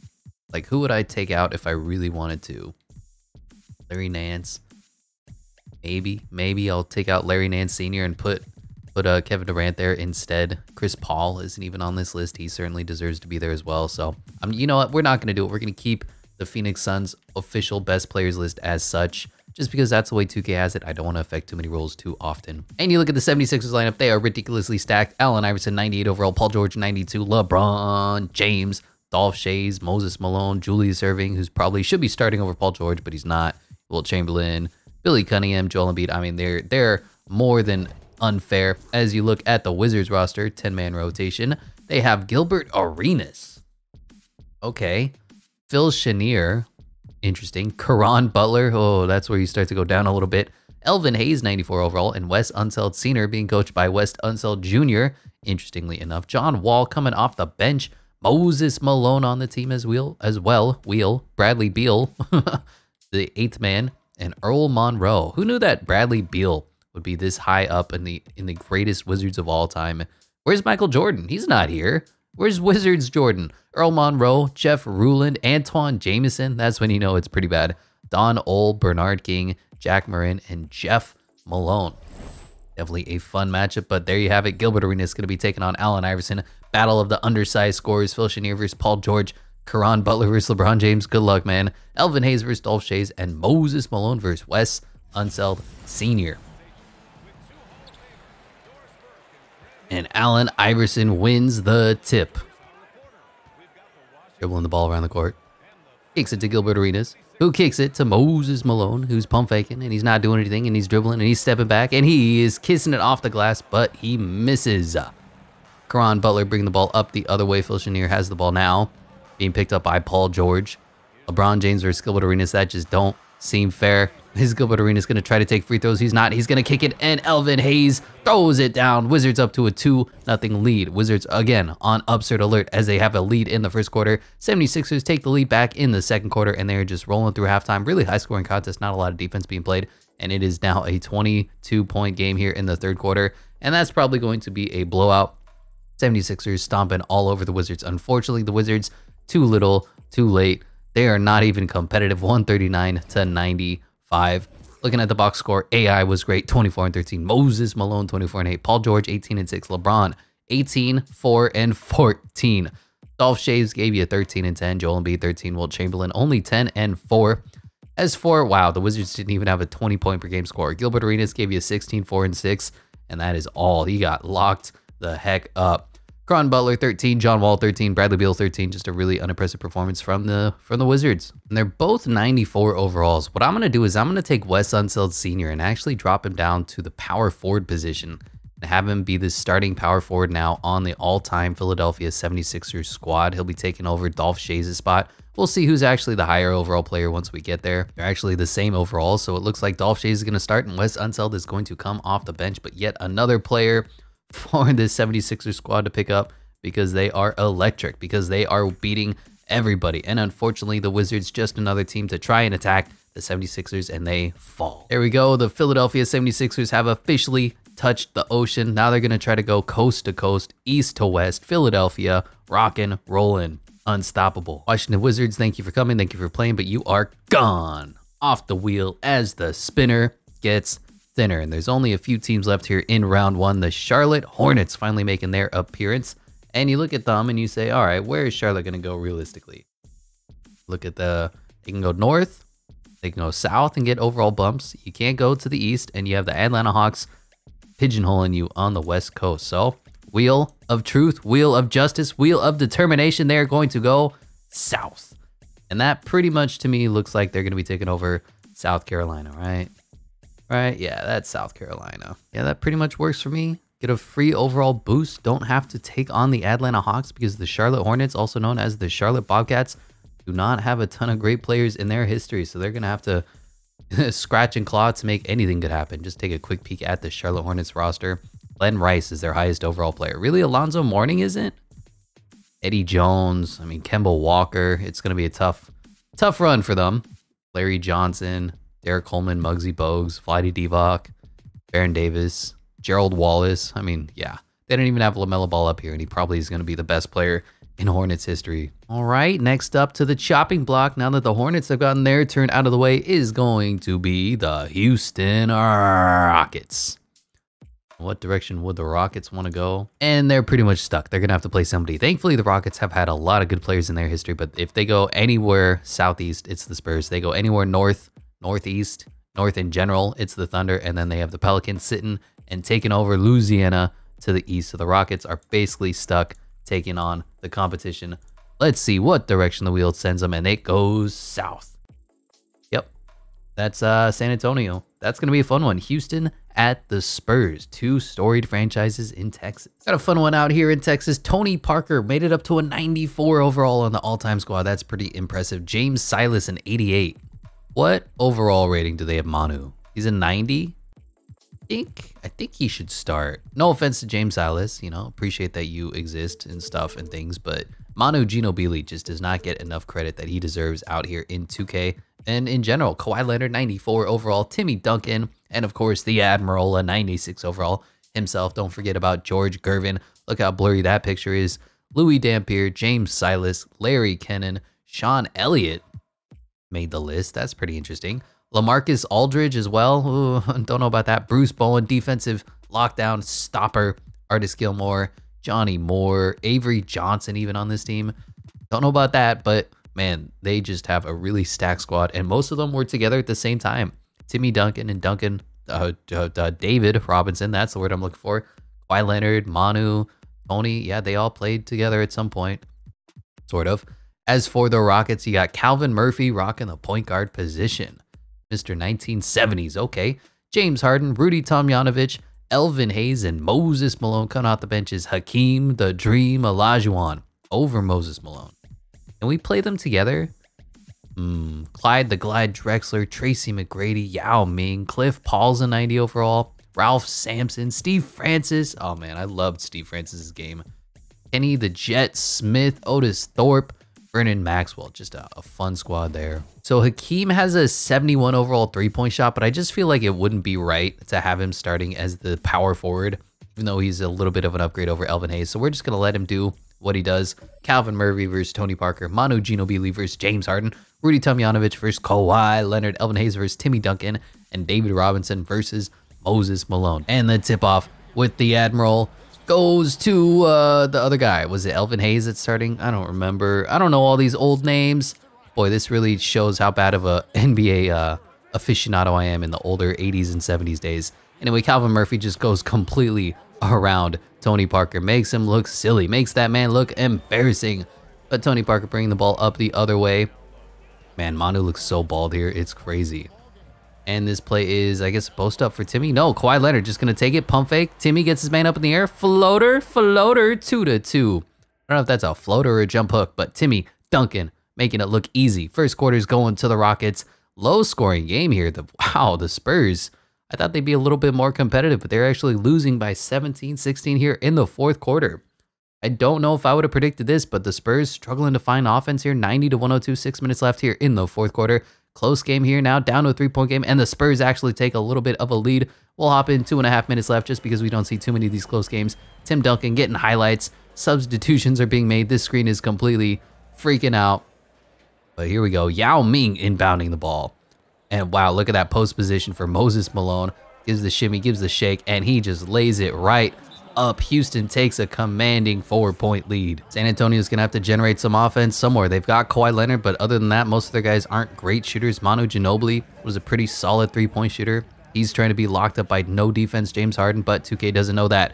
Ginobili bringing the ball up the court, and he just throws it right to Hakeem Olajuwon, who was waiting on that all day.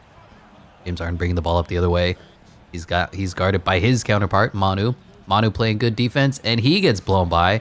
But James Harden misses the layup. Timmy Duncan flies in for the rebound. Manu bringing the ball up the other way. Looks like George Gervin is subbed in for Kawhi Leonard. Probably not a great option in my book. And Tony Parker gets a tough screen, but he kicks it to Dun David Robinson, who's doing a, po post fade. What? Why would that be your play? I don't know about a no point scored in 45 minutes. I, I'm never going to get sick of that bug. I don't know if a post fadeaway jump shot for David Robinson is what I'd want, but he blocks Calvin Murphy here. Look at the size differential. And then Calvin gets a bailout foul call. David Robinson playing lockdown defense. The refs say, nah, free throws for the Houston Rockets. And they're going to decide who is the winner of this game. They're going to declare that the Rockets should win. They're like the Eagles and the Chiefs referees. Players deciding, nah, it's all about the refs. It's all about the money. Everything is rigged, even NBA imperialism. Tony Parker running around. George Gervin had a shot. Takes it to Tony again. Offense is just in shambles right now for San Antonio. Going back to David Robinson out of the post. Not sure if this is what I want. Hakeem locked him completely up.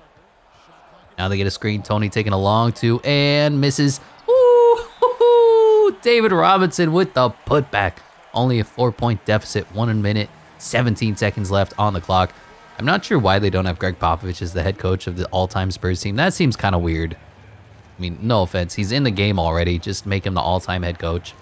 Calvin Murphy being locked up. Here's Hakeem Olajuwon versus David Robinson. What a matchup this is. Hakeem spinning, traveling, and he misses, gets his own rebound, and puts it back up. It kind of feels like that's the only way offense works in, uh, when you're watching CPU versus CPU, is just putbacks. Tony Parker bringing the ball up the other way. Got to find offense, got to get stops. That's the only only way that anything's going to happen for this team. Tony Parker dribbling, dribbling, kicks it, and rolling is Timmy Duncan, Mr. Fundamentals. Timothy Duncan gets behind his man and puts the bam, jam, damn. That was in a sentence. 113, 109. Spurs need to stop bad. Kick it to Hakeem the Dream, who's getting doubled. Calvin Murphy does not give great space. He's getting doubled. James Harden is open for three, and he misses, but Hakeem gets the offensive board and slows it down, and that's going to be a dagger. Hakeem the Dream Olajuwon gonna win this one for the Rockets unless something magical happens here for the Spurs, and it looks like they're gonna try to post up. Now they're calling a time. What the? and they kick it into David Robinson, who just goes immediately and draws the foul on Hakeem Olajuwon. The dream is still alive, although faintly. David Robinson makes the first free throw. Got to make this one as well and get a stop on the other end. They're probably to have to foul 28 seconds left, and he misses. He misses, and then they had a takeaway, but he fouled anyway. Oh, the Spurs falling apart here in the closing seconds of the game. And is this Rudy Tomjanovich who's going to make his free throws? Yes. He goes two for two from the free throw line, and it looks like it's going to be not enough time for a Spurs comeback down seven, 24 seconds left. Got to run something good.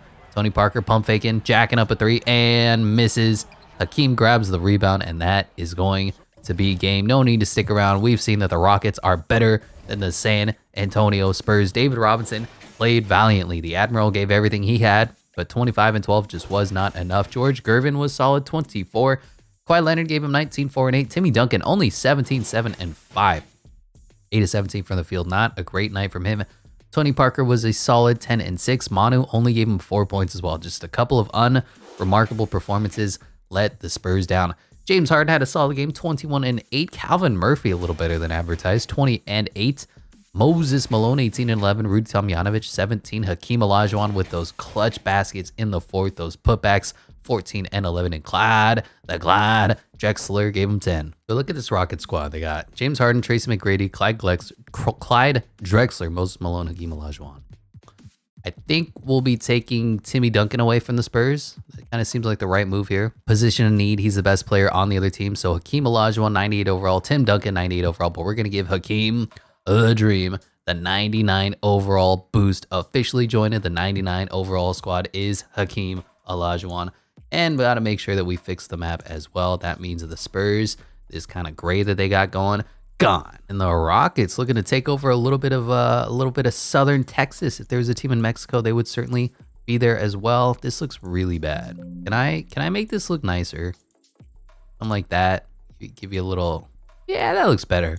Just so you can actually see the Rockets damn logo underneath everything. Spurs officially off the wheel as the spinner gets thinner. Looks like there's three, seven teams left on this wheel for the round one. Los Angeles Clippers are going to have to take on LA Lakers. You look at the map, there's literally there's nowhere for them to go at all. They they they have to take on the Lakers. Now I don't want to say blowout, but you look at it. Cliff Paul, I mean serviceable, 93 overall. JJ Redick should not be starting. Then you have Kawhi Leonard, that's good. Blake Griffin, that'll work, and Bob McAdoo for the Buffalo Clippers. Wow. Okay, World B. Free coming off the bench with Elton Brand, eh, Ron Harper, Danny Manning, uh, DeAndre Jordan, ugh, Chris Kaman made the list. Oof, look at that hair. Corey Maggette should not be on anybody's all-time teams list. Norm Nixon, Swen Nater, Lamar Odom as well. I'm surprised Paul George isn't here, but Kawhi Leonard is. Not sure how I feel about that change, but these are the official all-time rosters. As for the Lakers, of course, Jerry, the logo, West, 97 overall, Kobe Bean Bryant, Elgin Baylor, LeBron James, Shaquille O'Neal, 98 overall, Magic Johnson. I mean, they are just beyond stacked. When you have this many players that Magic has to come off the bench, you are set. Kareem Abdul-Jabbar, James Worthy, even George Mikan made his way onto this list. Anthony Davis as well. Wilt Chamberlain is like the 11th man on this team. Gail Goodrich, Jamal Wilkes, Michael Cooper, Byron Scott, I think it's pretty obvious who's going to win this, but you never know. Battle of LA. Clippers at Lakers. NBA imperialism. Who you got? Place your bets. I'm going 50 point blowout by the Los Angeles Lakers as they win the tip.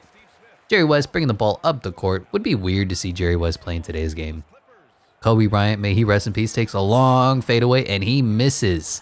Good sign for Clippers fans as Blake Griffin brings the ball up the other way. Bob McAdoo kicks it to JJ Redick. JJ somehow on an all-NBA team, somehow jacking up threes and missing, unsurprisingly. Bob McAdoo gets the offensive board, kicks it to Blake Griffin, who throws it down with authority. Look at Blake Griffin, and where's my highlight on that? Woo! Hopping into Simcast, and the Lakers jump out to lead in the first quarter. Back and forth game here in the second quarter. And the Lakers looking like they're going to start to extend out a lead here in the third. Clippers, though, making a game out of it kind of a low scoring contest here, an ugly, gritty game. That's the only way that the Clippers are going to be able to make this an upset here in the fourth quarter. About a 10 point game. Clippers got to go on a run. Otherwise, it's going to be too little, too late. And looks like that is all she wrote. It's about a seven point game, 15 point game. The Lakers are just going to continue to walk away. The Clippers made a fight out of it, but ultimately they fall a little bit short. 111, 127. Lakers were great. Jerry West, 23 and 8. George Mikan off the bench, 21 and 2. Elgin Baylor 18 11, Magic Johnson 17 7 9, Kobe Bryant 15 3 9, LeBron James 14 and 8, Shaquille O'Neal 9, Kareem Abdul Jabbar 6 and 9, nice, James Worthy 4, Anthony Davis didn't even play. As for the Clippers, Blake Griffin had a good game 26 7 and 7, Ron Harper 20 points. Cliff Paul, 14 and 11. Bob McAdoo, 12 and 8. Kawhi Leonard, 10, 2 and 8. And Elton Brand gave him 10. I don't even know if the best player on the Clippers would even make the rotation with the Lakers, but we'll send over Kawhi Leonard. Weirdly, Paul George wasn't on the list. Looks like he might be the 10th man off the bench. Look at their team Jerry West, Kobe Bryant, James Worthy, Elgin Baylor, Shaquille O'Neal, Magic Johnson, Kareem Abdul Jabbar, LeBron James. Kawhi Leonard makes it here at ninth on a 10 man rotation. George Mike and Anthony Davis. Yeah, the Lakers. It's not fair, man. And no surprises here. The Lakers are going to take over. Wow, that looks really ugly. Can I just paint over that, please? Thank you. And the Clippers officially gone. Get the hell off this list, as the Lakers are the kings of LA and probably looking at that roster without even making a notable win are the kings of America. Take the teams off the wheel. Clippers are gone as the spinner gets thinner. There's five teams left in this first round as the Milwaukee Bucks are going to finally make an appearance. Speaking of Kareem Abdul Jabbar, and what team do the Bucks want to take on? What direction are the Bucks going to go? You look at them. You go south, they're taking on the Bulls. You go southwest, they're taking on, I want to say Iowa. Is that the state? Iowa. It is the state. Man, I'm so good at geography. It's not even funny. And they go any other direction, they'll be taking on the New York Knicks. It's where the Bucks gonna go. They are taking on the Knicks. Yep. That's about as Nickian as it gets. There's no other way around it. Milwaukee Bucks at the New York Knicks. And we already know the Knicks are ridiculous. Walt Frazier is a 99 overall. Vince Carter, Dave DeBusschere, Isiah Thomas gone off the bench is a 96. Willis Reed.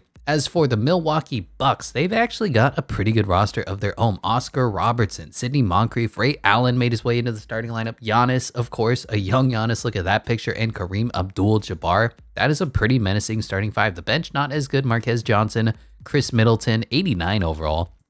Bob Dandridge, Michael Redd, man, he was a stud back in his day. Glenn Robinson, Terry Cummings, Junior Bridgeman, Vin Baker, Brian Winters, Paul Pressey. The rest of the team isn't as good, but that starting five is a force to be reckoned with. So if they can compete, I mean, you look at it, Oscar versus Walt, that's a pretty close matchup. Sidney Moncrief versus Richie Guerin is going to be a good one. Ray Allen versus Vince Carter. I mean, that's fun. Vince is obviously the better athlete and the better player, but Ray Allen is a great player in his own right. Giannis versus Dave DeBusschere and Kareem Abdul Jabbar versus Patrick Ewing. Tell me that's not a matchup you want to see.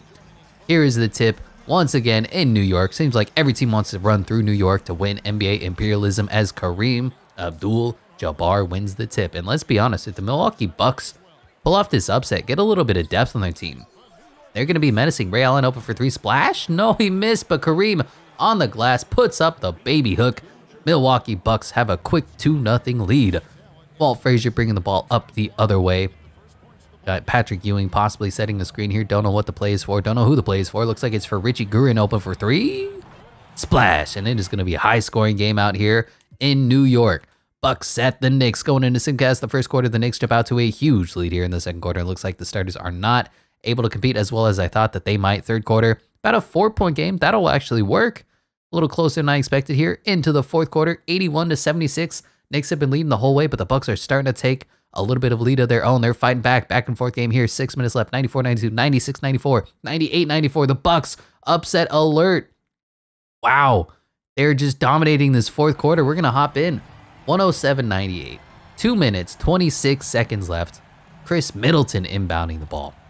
I'm just saying, if they steal like uh, Walt Frazier, Patrick Ewing, ooh, this Buck squad gonna be filthy. Now they're pulling up and they're making it. They're pulling up Marques Johnson right in someone's face. Who was that?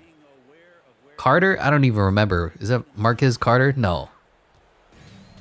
And I don't know what's wrong with the filters on this game either. It looks like the game is all smoky, but uh, that's fine. 109 to 88.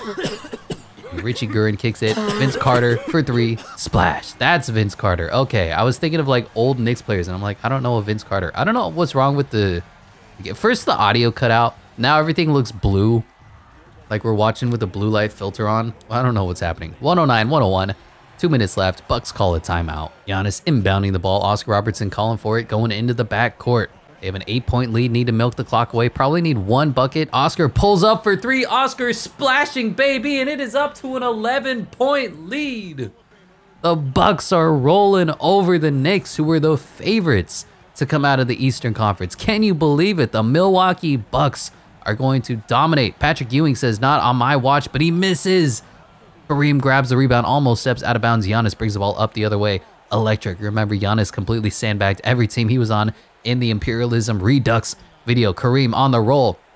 Kicks it, almost throws it away, and he gets his shit rejected by Richie Guerin. Isiah Thomas trying to mount some sort of comeback. Walt Frazier is out for some reason. Vince Carter calling for it. Out of the post. Posting. Is that Oscar? And he goes up, and he gets his shit rejected as well. The Knicks need to stop, and the Knicks need to stop bad. It is an 11 point deficit with only one minute left. Richie Guerin trying to D up Oscar Robinson. That is a tough matchup for him. Unfortunately, undersized, under talented. Clock is draining away. And Sidney Moncrief is going. He's flying. He's getting the foul. I think the next New York Knicks possession that they miss is going to be game because this lead is only growing. The Bucks came into New York and said, "We want all your damn land." Isiah Thomas going to do whatever he can to keep this thing going like a nice little layup. 46 seconds left, and it looks like the filter got turned off. I don't know what happened. An Isiah Thomas layup was the answer to why is my game broken. Now everything looks normal. Y'all saw that transition, right? It just happened. I didn't press nothing. All right, Oscar Robinson. Man, 2K is such a... 2K is so dumb. Takes it to Kareem Abdul-Jabbar. And he's going and he's laying it up with the finger roll. And that is going to be game. Can you believe it? The New York Knicks get downed by the Milwaukee Bucks. Said it was possible. Nobody had a great game. Richie Guerin tied with the highest scoring, 18 for him. Vince Carter, 18 and 7. Willis Reed, 18 off the bench. Dave DeBusschere, 14, 8 and 6. Isiah Thomas only played 22 minutes, had 12 and 5. Did he get in foul trouble? Coach just didn't play him. Walt Frazier, 8 points and 10 assists. I mean, that's eh. Patrick Ewing, 8 9. Carmelo only gave you 7 points. As for the Bucks, Michael Redd popped off 20 points in 18 minutes for him. Kareem Abdul-Jabbar 19 and 12. Giannis 17 10 and 6. Oscar Robertson 15 2 and 6. Ray Allen 14. Bob Dandridge 12 and Marques Johnson 11. Who would have thought that the Milwaukee Bucks would come in and stomp over the overwhelming favorite New York Knicks? Jeez, I mean the Knicks had just slowly been taking over this this part of America, and they said, you know what? We want all of this. We want Canada. We want we want this. We want that. And this is what NBA imperialism is all about. Look at the land that Milwaukee has just taken over as the Knicks, as big of a superpower as they were, gone. Milwaukee growing up huge, and the Milwaukee Bucks might be the new favorites now next to the Los Angeles Lakers. So we're gonna have to do a little bit of roster management for the Bucks because they already have Oscar Robertson, but they need wing depth like crazy. So I'm gonna send over the best player in uh in what's his face, Walt Frazier, and then I can't decide who's going to be the better point guard. I'm gonna have Oscar Robertson play the shooting guard. I know, I know it's not realistic, but He's a little bit taller. I think he's a slightly better player offensively. So Walt Frazier is to play the point guard. That means Oscar Robertson is going to play the shooting guard. That means they still need a three. Sidney Moncrief is too undersized. Marques Johnson, I guess, will play the three. And then Giannis, for some reason, is listed as a small forward. I know he's more than capable of that, but he needs to be a power forward just to make these rosters work out. So it'll be Walt Frazier, Oscar Robertson, Marques Johnson, Giannis, and Kareem Abdul-Jabbar. Spacing ain't great, but this Bucks starting lineup is starting to get a little bit of depth. And next onto the wheel is only four teams left of round one. Bulls, Heat, Kings, and Pelicans have not had a go yet. Looks like the Pelicans are going to be next on the list. And you remember they are in a bit of a weird spot. You look at them on the map, they have they have a, a states, you know, to the north and east of them, but then they have two teams to the west of them as well that they will have to contend with. So you look at the wheel, you spin the wheel, and you say, what direction are the Pelicans going to go? And that looks like they want to take on a team. Not what I wanted them to do, but it looks like it's going to be Pelicans at Thunder. Of course, the Thunder picking up Dirk Nowitzki, 99 overall. They got Russell Westbrook, prime Russ at the one, or Gary Payton, doesn't really matter. Ray Allen, Kevin Durant, Dirk Nowitzki, Jack Sikma, Gary Payton, Paul George, Dennis Johnson. We already saw them. As for the Pelicans, who were formerly the New Orleans Hornets, which is just frustrating because now there's the Charlotte Hornets. They've got Cliff Paul at his prime, at his peak, 98 overall. Shooting guard is, should it be Baron Davis? Defense is going to be horrible, but I can't have an 85 overall on the bench when there's like a 90 overall Baron Davis just sitting, waiting to be played. Baron Davis in his prime was a monster. Jamal Mashburn, Zion Williamson somehow made the uh, made the list. I don't know about that. And Anthony Davis, 94 overall. Coming off the bench is David West. Y'all remember before he got old, he was a beast. Brandon Ingram, Jrue Holiday, a young Drew, look at the hair, and Boogie Cousins, man, he came over for one year and was fun. David Wesley, wow, I haven't heard that name in a while. Julius Randle, I completely forgot he was even on the team for one season. Tyson Chandler, Lonzo Ball, damn, poor guy's knees. Peja Stojakovic, and Eric Gordon. Definitely going to be a fun matchup. You look at the team, you got Cliff Paul versus Russell Westbrook, Baron Davis versus Ray Allen, Jamal Mashburn versus Kevin Durant, Dirk Nowitzki versus Zion Williamson, and Anthony Davis versus Jack Sikma. I think this is going to be a one-sided affair, and I think that side is going to be, well, the team with the 99 overall and the team with uh, Kevin Durant and a prime Russell Westbrook and Ray Allen back on the Sonics. I just think the Thunder have way too much talent in their history. Of course, Shawn Kemp going to be coming off the bench as well, but you never know. In 2K, as we're hopping in to the game, Anthony Davis setting the screen, Baron Davis pulling up for three, and that's not the strength of his game. He needs to be slashing, and he needs to be. He makes highlight dunks. He doesn't make pull-up threes. Russ just goes right around Cliff Paul, and that was horrible, porous defense from CP0. Going into Simcast, and the Thunder have a little bit lead here in the first quarter. Going into the second halftime, it's actually a closer game than I thought. Back and forth game here into the third quarter. And we got an upset alert here. The Pelicans might be upsetting the Oklahoma City Thunder. Dirk need to come up clutch for them. Back and forth game here. Fifth, five minutes left, four minutes left, five point game, eight point game. Thunder need to go on a run, and it looks like they're doing the exact opposite. Two minutes left, and the Thunder cannot score. They're stuck. Eight point game, six point game. All right, we'll hop in. The Thunder need to go on a run. Otherwise, Kevin Durant and Dirk Nowitzki are going to go home disappointed as the Pelicans are on upset alert. Up six, 50 seconds left. Something crazy got to happen, like a steal right here. Gary Payton locked down. Baron Davis bringing the ball up the court. Don't know who this play is going to be for. And it looks like that blue light filter is back on. And now Baron Davis just gets fouled by Dennis Johnson. Really for no reason at all. I don't know why there's a blue filter on half the games. Maybe we need another layup to turn it off. Cliff Paul dribbling the ball, kicks it to Anthony Davis, who kicks it to a wide open David West, who draws the foul. Good uh, ball movement there from your New Orleans Pelicans, rocking the old jerseys. Who's who's who were they? They were Charlotte at this time? No, they were the the New Orleans Hornets. Yeah, basketball teams are weird, but calm, cool, and collected. David West drills the free throws. Kevin Durant gonna need to score and score fast. You pull up a three, it's only a four point game. So he's pulling up from two and missing. Well, that'll do it. Dirk Nowitzki getting benched for, I don't even know who's playing right now. And uh, yeah, this game is over. Yep, the Pelicans just got the offensive board and go up nine. And that is all she wrote. Gary Payton speeding up the court. Too little, too late. Going to try and draw some contact. And he does, but there is no way that the Thunder come back from this one as they fall 122-113. Definitely not what I expected. Kevin Durant had a solid game, 22 7 6. Ray Allen, 19 and 2. Paul George gave you 19. Dirk only gave you 12 and 6. Russell Westbrook, 13 shots, made three. I mean, he had 10, 8, and 11, but oh, that stat line was bad. Jack Sikma, wow. Did not think the Thunder slash Supersonics were going to fall, but Zion Williamson is a glitch in this game. 23, 3, and 8. David, David freaking West got you 17 and 6 on 14 shots.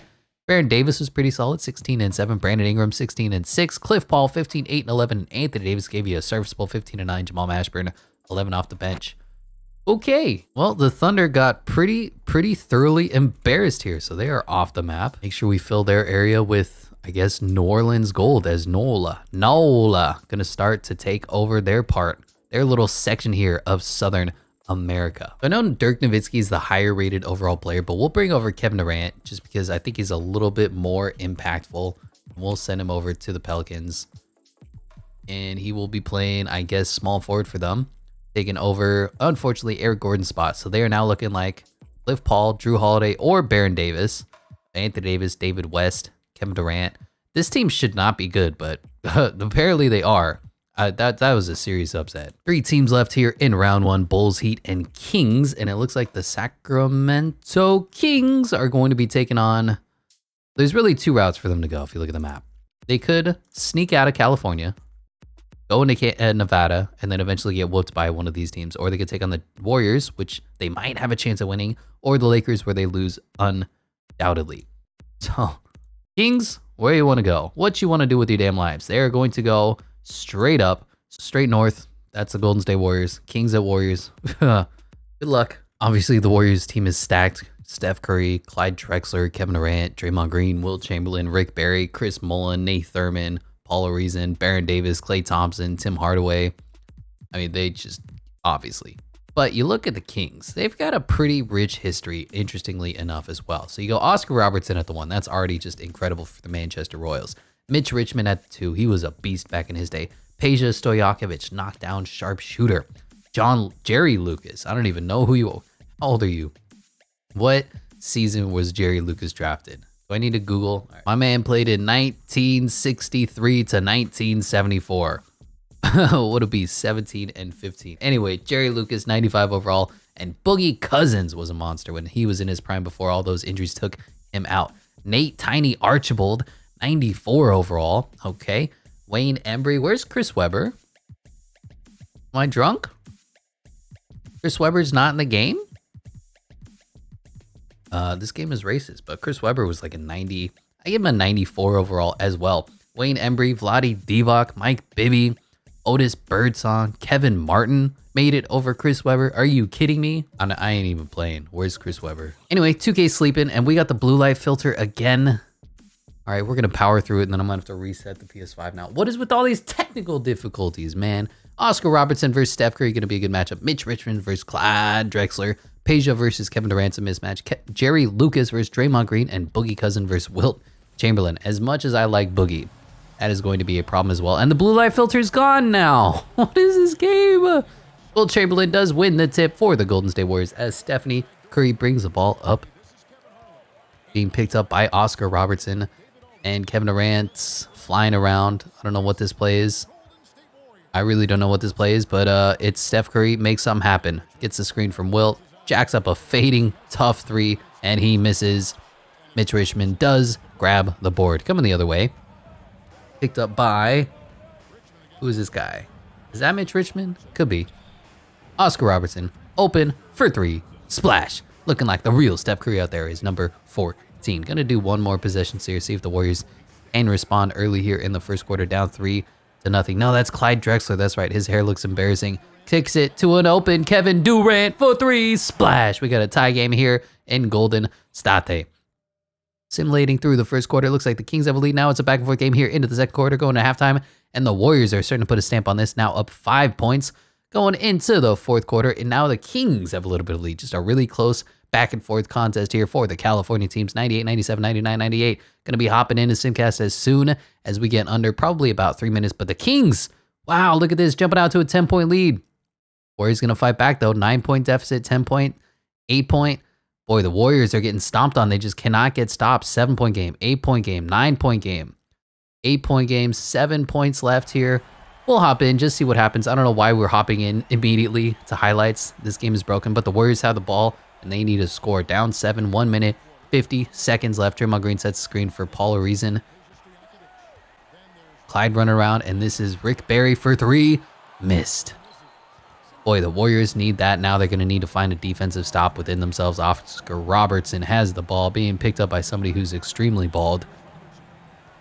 In fact, all the guys on this team are extremely bald. Rick Barry playing long drop defense there, and a miss Draymond Green bringing the ball up the other way. Is he going to pull a crazy? Is he going to try to shoot ahead of Kevin Durant? Kicks it to an open Barry who pump fakes and he's going driving. Floater makes it. It's down to a five point game. Rick Barry with the kiss off the glass.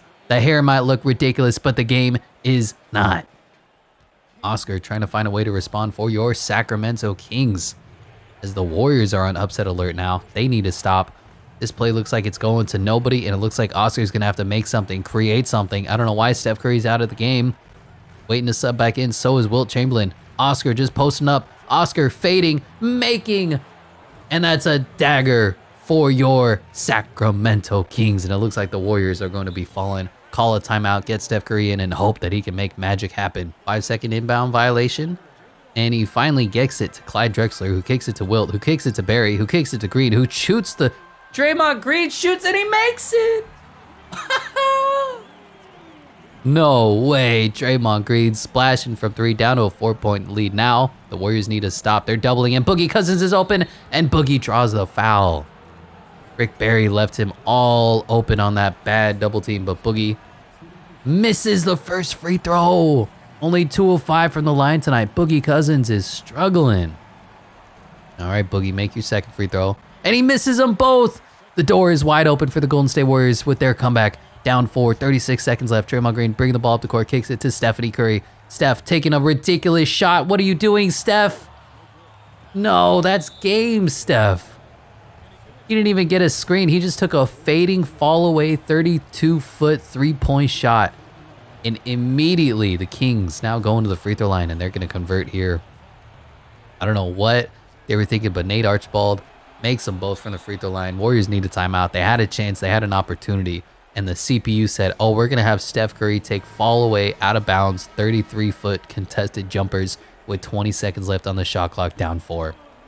You can't make this stuff up. NBA 2K AI is jank. Draymond Green kicks the ball to Rick Barry, who kicks it to Draymond, who kicks it to Clyde, who kicks it to Barry, who's driving, who kicks it to Draymond Green again, who pump fakes. They need to start putting up shots. Wilt Chamberlain driving into the paint, draws the foul, misses, and he's going to have to make some free throws. And I know that, oof, Wilt's shot does not look pretty, but it goes in for the first one, and the second one is up and in. Two for two. Now it's time to play the foul game. Still a four-point deficit, 18 seconds left. There's still time. Peja Stojakovic is on the inbound, and he's going to kick it to Tiny Archibald, who's going to the free throw line immediately from a foul from Steph Curry. That is his fifth. Tiny made his last two free throws. Is he going to make them now? Up and... Oh, he missed! The door is still open. The Warriors getting every chance they can to make a comeback. 123, 127. He missed them both. And the ball is open. Rick Barry bringing the ball up the court. There's still hope for your Golden State Warriors. Steph Curry kicks it to Draymond Green, who jacks up a three of his own. What are the Warriors doing? who would have thought Draymond Green would go Steph Curry and Steph Curry would go. I don't even know who who who takes a shot like that. That was the worst three pointer of my life. And the Warriors fall 128, 125 in sad fashion. Clyde just didn't get a touch at the end, 20 and 7 for him. Wilt gave you 20, 11 and 4. Rick Barry 19. Kevin Durant wasn't in for the final possessions. I'm not sure why. 18 for him. Chris Mullin 17 and Steph Curry had a rough game. 5 of 17 from the field. 16 points and 11 assists for him. Draymond Green had that ridiculous pull up three point shot. He made one and he said, I'm hot, coach. I can do it again. He's going to have to go on his podcast and apologize. 7 5 and 8 for him. For the Kings, wow. Oscar, great game from him 27 9 and 5. Jerry Lucas gave you a triple double 20, 10 and 10 with the mutton chops. Peja 17, Mitch Richmond 16, Tiny Archibald 12 and 9. Boogie missed a couple of clutch free throws, but they prevail as the Sacramento Kings beat the Warriors. Definitely not what I was expecting, but the royal purple is growing. The Warriors gone. Get the hell off this team. And the Sacramento Kings going to try to start a rivalry yet again with the Los Angeles Lakers. And they're tied highest overall with Steph Curry. The Kings already have Oscar Robertson. I could send him Kevin Durant, but I feel like that's too much. So we'll send Wilt Chamberlain over to the Rochester Royals, to the Sacramento Kings, who upset the Golden State Warriors in surprising fashion. Wilt immediately going to be their highest overall player and their best center as well. 98 overall, and we'll give the one overall bump to Oscar Robertson. 298 overalls now. Oscar, Mitch, Peja, a little bit of a weak point here. 88 overall. Jerry Lucas and Wilt Chamberlain now 98 overall. Definitely was not expecting a Kings victory here, but there's only two teams left now in round one, Bulls or the Heat. Looks like the Chicago Bulls are going to go next. So we look at the map, take a quick peek, and the Bulls, obviously they have Jordan. Obviously they shouldn't have been waiting this long, but they're going to be great. As you all know, prime Derrick Rose, Scottie Pippen. So they got the 76ers to the east. They got the Bucks to the north. Couple of teams, couple of states where they can get just basic overall bumps in the other directions. Let's see where the arrow of fortune sends them. And they're going every team just continues to immediately take on each other. I try to always fill out these empty states and they don't want to do it. All right, is this this is 76ers, right? Bulls at 76ers. All right. 76ers squad, y'all already know. Allen Iverson, Paul George, LeBron James, Dolph Schayes, Moses Malone, Wes Unseld, Julius Erving, Billy Cunningham, Wilt Chamberlain. They just got a ridiculous squad. But the Bulls are no slouches of their own. Prime Derrick Rose, 96 overall. 99 overall, Michael Jeffrey Jordan. Scottie Pippen's a 98. Dennis Rodman, Artis Gilmore, Jimmy Buckets, Bob Love, Jerry Sloan. Joakim Noah's an 88 overall back when he was good.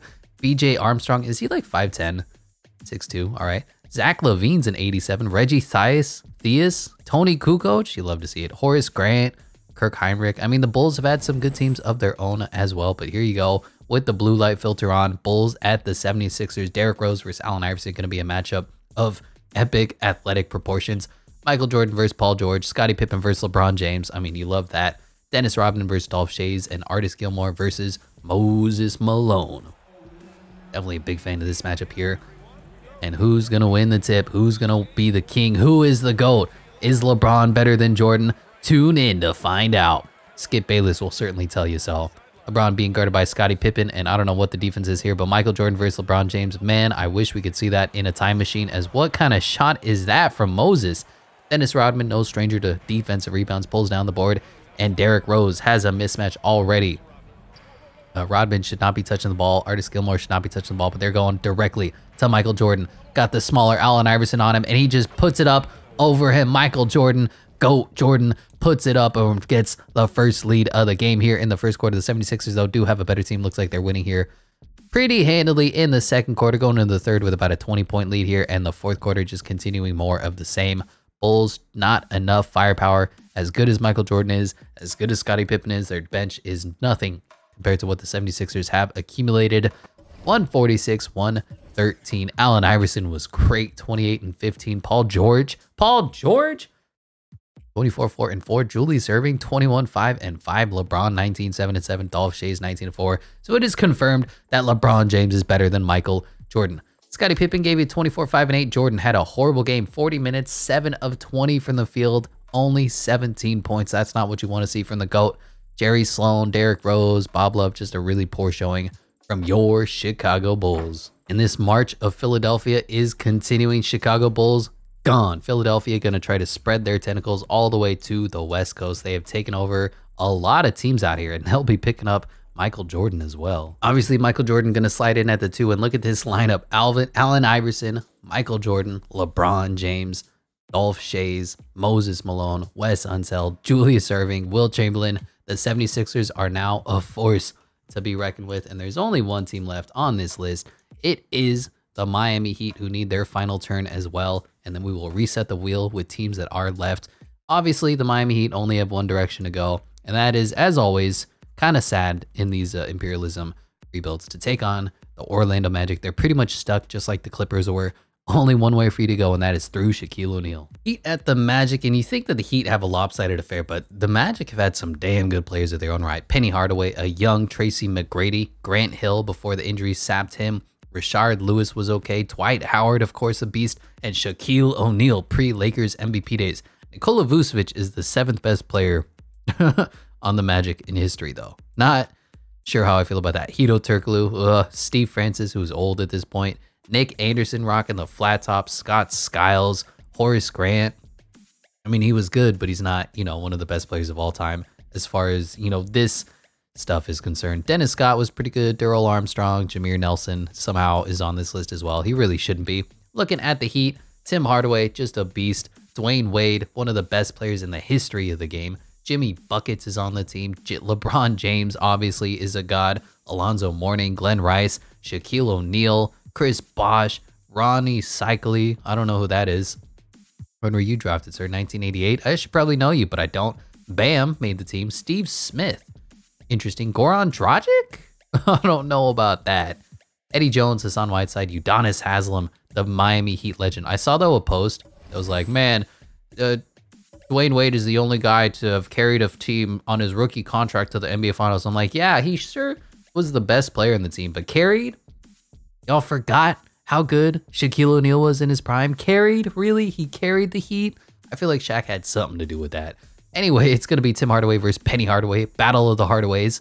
Dwyane Wade versus T Mac, just a fun matchup there. Jimmy Buckets versus Grant Hill. Rashard Lewis versus LeBron James. Oof. And Dwight Howard versus Alonzo Mourning. This was when LeBron was at the peak of his powers, kind of coupled alongside those first few years in Cleveland as well. But I think the Miami Heat are going to roll. You never know. Magic win the tip. Penny Hardaway brings the ball up the other court. I gotta make sure I get the Hardaways right. I never watched their games, so I only know them off uh off off off reputation. Dwight Howard though, remember when he was trying to carry a team to the wow, what was that? Rashard Lewis taking a contested shot over LeBron, you wish. He was trying to single-handedly win some championships out there. Young Dwight, defensive menace, offensive disaster. Kind of like Rudy Gobert. D Wade being picked up by a young Tracy McGrady, LeBron James, stepping back, pump faking, three in the key, nowhere to go. Jimmy buckets out of the post, just goes right around Rashard Lewis, and he puts it up. Two points for your Miami Heat. Battle of Florida. Who's going to win? In the first quarter is a really close, low-scoring contest, back and forth going into halftime. The Magic have a bit of a lead here. The Magic have a bit of a lead here. Okay. Seven point lead here in the third quarter. Now a four point lead. Really close game. I didn't think it would be this close. I thought the Heat were going to kind of blow them out. But hey, maybe LeBron James isn't that good. Fourth quarter, seven point game, eight point game, nine point game, close game. Heat need to go on a run. And it seems like every time a team is down, that's it. That's over. They never have a chance to get back into this game. Seven points, nine points, 11 points. The Magic are just running away with it. The Heat are stuck. They can't score and they're going to lose. The Heat lost to the Magic 123-103. Wow, was not expecting that, but T-Mac popped off. 31 and 9. Shaq gave you a 20 and 13 game. Vooch gave you 16 points. Rashard Lewis, Dwight Howard gave you 13 and 11. Penny, 10, 5, and 12. As for the Heat, LeBron was the only one who showed up as usual. 27, 9, and 6. Tim Hardaway gave you 18. Alonzo, 13 and 12. Glen Rice, 13 and 8. Shaq, only 10 and 4. Jimmy only gave you 8. D Wade only gave you 6, 7, and 8 on 2 of 12 shooting. Uh, the Heat just did not show up. And that means the Kings of Florida in all time rebuilds are the Orlando Magic. Get this Miami Red out of here. Wow, that, why does that look dumb? what happened? Wait, what? I don't know what that was, but Miami officially gone, eliminated from the Imperialism tournament as the end of round one has the Orlando Magic taking over Southeast America. Still a bunch of teams, still plenty of teams left, a lot of empty states as well we got to fill out. Middle America hasn't really been touched. Maine and Vermont, Delaware, those states as well. Obviously, you're going to take a 99 overall LeBron James, A plus is everything, and put him on the Magic. That means he'll be taking the place of who? Grant Hill. That'll work. They do need a power forward. Hedo Turkoglu cannot be the starter, but team already looks a lot better. Penny Hardaway, Tracy McGrady, LeBron James, Rashard Lewis, uh, Dwight Howard, and Shaquille O'Neal. If only one of these two guys could shoot a lick, they would be subbed in as power forward. And that is it for the first round of NBA Imperialism. Time to reset the wheel. Round two, fight. First spin of the second round. The entire wheel has been repopulated with the teams that are remaining on the map. Let's see who is going to be the first one to make a move. And this round's really more about filling out some of those empty states, get an overall boost, the occasional matchup here and there, but for the most part, not too much is going to happen. And we have the Milwaukee Bucks. And who are the Bucks going to be taking on? If they go south at all, it is the Philadelphia 76ers. I'd like to avoid that, probably take over some of these states.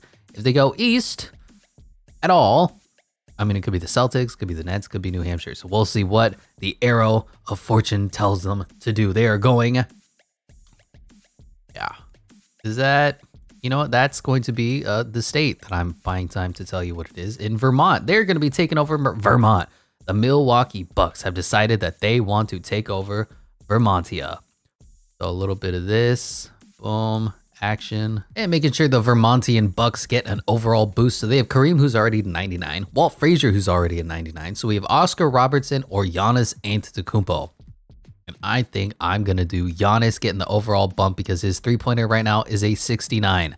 Nice. Let's get that to a 70. He's officially a 96 overall Oscar. We could do, there's just so many Oscar Robertsons out there that are beasting and feasting at this point. And you'll notice we aren't taking teams off of the wheel at this point. We're just spinning to winning. And the Sacramento Kings, who have an Oscar Robertson of their own, are going to be the next spinners.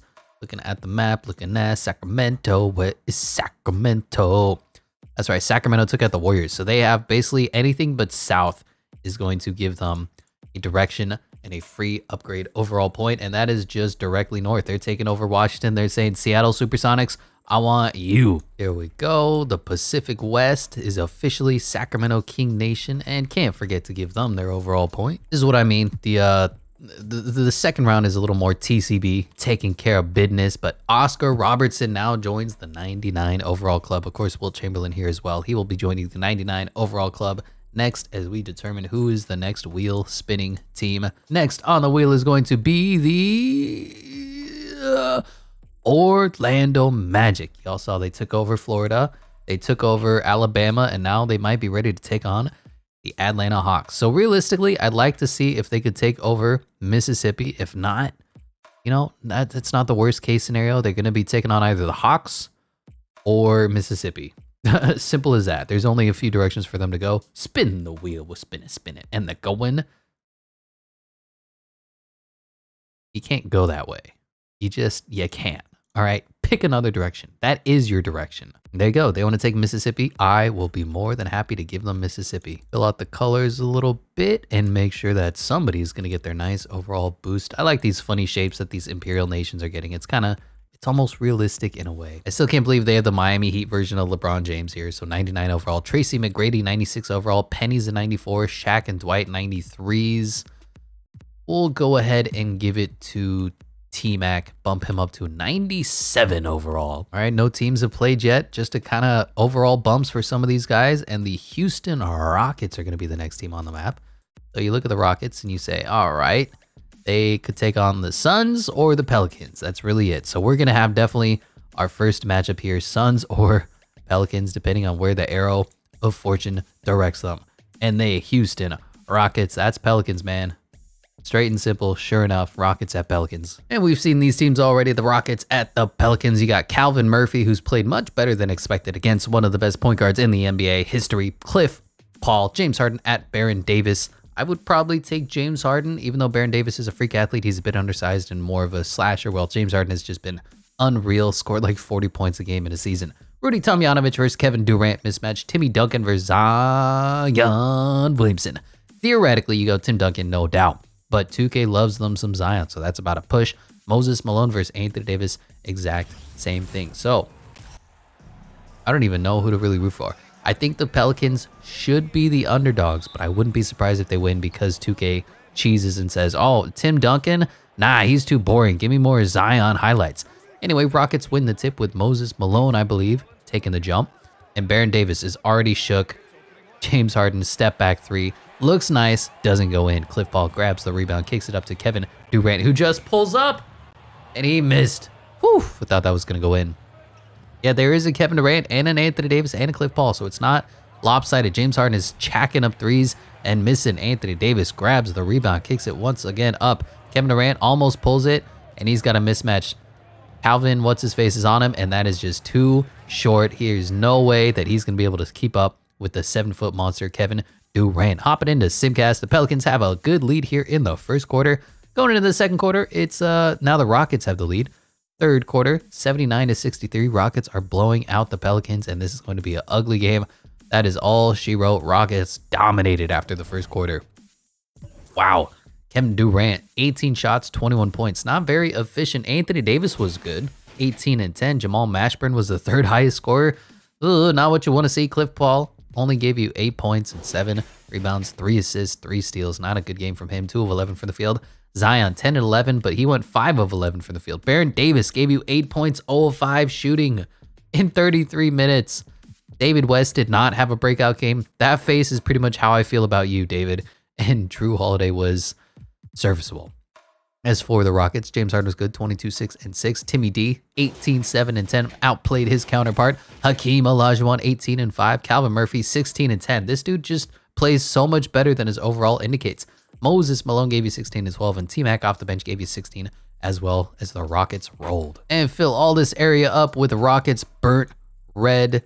Make sure that the New Orleans Pelicans are gone. Get the hell out of here as the Houston Rockets are growing fast taking over Southern America. Not South America, Southern America. Rockets need a wing player. Pelicans have Kevin Durant. I could give him Cliff Paul to take over, but that point guard, Calvin Booth, whatever his damn name is, is just playing too good to replace at this point when they have, I think, who's starting right now for the Rockets? Elvin Hayes, Rudy Tomjanovich is getting starting minutes. That's just not acceptable. So the Rockets are going to pick up Kevin Durant, Hakeem Olajuwon, already a 99 overall.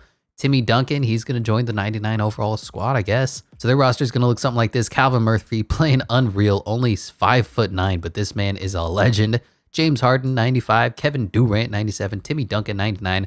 Moses Malone, 97. And Hakeem Olajuwon off the bench, 99. Clyde, T-Mac. The Rockets are a menacing team. And that means the New Orleans Pelicans get the hell off of my wheel as the spinner gets thinner. Getting down to it, about the top 10, I would say, is the Los Angeles Laker. Laker legends are going to be next.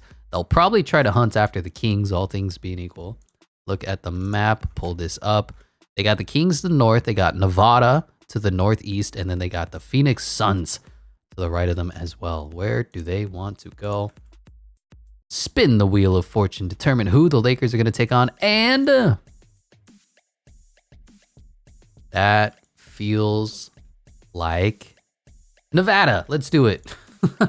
I know it should be the Suns. I get that in hindsight. Maybe I will I'll regret this, but we need to fill out some of these empty states and give some overall boost. If there is a team that doesn't need to go and take on another team and get their best player, right now it's the Los Angeles Lakers. So there you go. Fill that out. Give them a one overall boost. And it looks like Magic Johnson is going to join the 99 overall squad, be the first 99 in Laker history, at least according to 2K all time teams. Anyway, spinning the wheel again. The next team is going to be the Phoenix Suns, who almost got into it with those Los Angeles Lakers we saw before. So you look at the Suns and you say, they are trapped. They're going to have to play somebody, and they're going to have to play somebody fierce. Good luck, Phoenix. Pick who you want Jazz, Rockets, or Lakers. And they are going to be taking on the Lakers. Yep, that sounds about right. We already looked at this Lakers squad. It's ridiculously stacked. It has 99 overalls coming off the bench. Y'all already know. But the Sun squad we haven't taken a peek at yet. Steve Nash at the one with that overall boost is a 98 overall. They got Walter Davis as the 1977 draft shooting guard. Shawn Marion, a 92 overall. Tom Chambers and Amar'e Stoudemire, a 93. I don't know about these ratings, man. Dennis Johnson, 95 overall. Jason Kidd coming off the bench. Charlie Scotts, uh, Kevin Johnson, that's respectable 91, and Paul Westphal behind him. Devin Booker as well. What is wrong with Devin's face here? What he's squinting, trying to look at the screen, see why am I really a 90 overall? Dan Majerle, Dick Vander Van Arsdale. I like Dick. I've always liked Dick. Larry Nance Sr., who's apparently on every single team ever, and Alvin Adams to round out the team. All in all, going to be a fun matchup. I think it's obviously going to be Lakers domination. I mean, Steve Nash versus Jerry West. Overall's department is a push, but I'll take Jerry. Walter Davis versus Kobe Bryant, oof. Shawn Marion versus James Worthy, oof. Elgin Baylor versus Tom Chambers, oof. And Shaq versus Amar'e Stoudemire, just non-stop beatdowns. But this is the all-time imperialism team, so if there's a will, there's a way. Winner take all, single elimination tournament. And hey, the Suns win the tip here in Los Angeles. It was meant to be. I tried to help them avoid, but it looks like the Suns have a date with destiny, a date with the Lakers. Tom Chambers posting up, and he kicks it back out. Shawn Marion, y'all ever seen Shawn Marion's jump shot? Five stars, highly recommend. Steve Nash, speaking of jump shots, open for three, misses with a late contest from Jerry the Logo West. And we got James Worthy, big game James bringing the ball up the court. Kicks it to Jerry West, who kicks it to Shaq. Don't know what this play is, but hopefully it's a Shaq ISO. Kobe Bryant running down a screen, and he's just going and getting fouled, and that's two points guaranteed. Kobe Bryant free throws are legendary.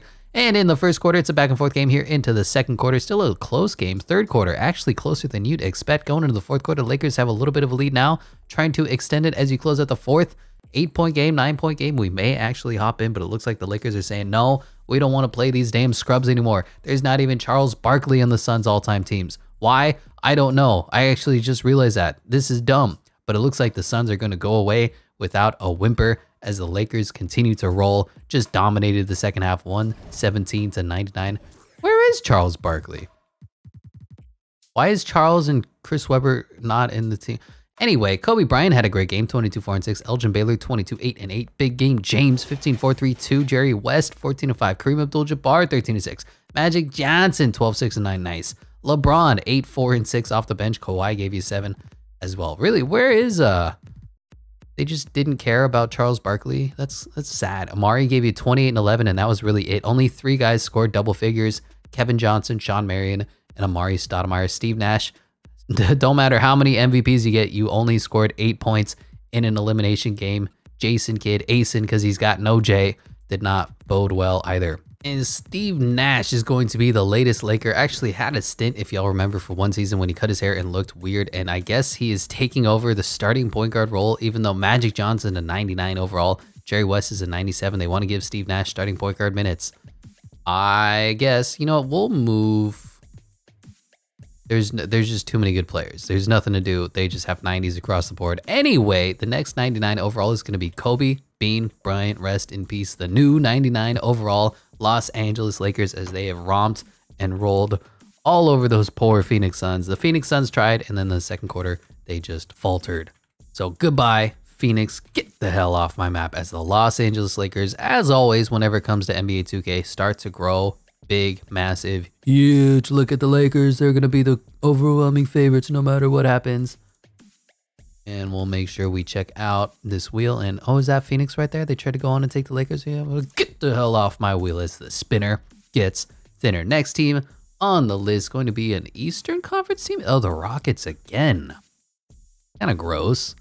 I don't like repeat teams, but uh, if the Rockets really want to play, they got the Magic to the east and a couple of empty states to the north, maybe the Utah Jazz, or they could be taking on the Lakers as well. Let's see what the arrow takes them to do. Spin the wheel of fortune, and they are going east. Yeah, we're gonna give them. We're gonna give them that state. They're known as Arkansas. A little bit of this action. Make sure you blow up and grow up in size.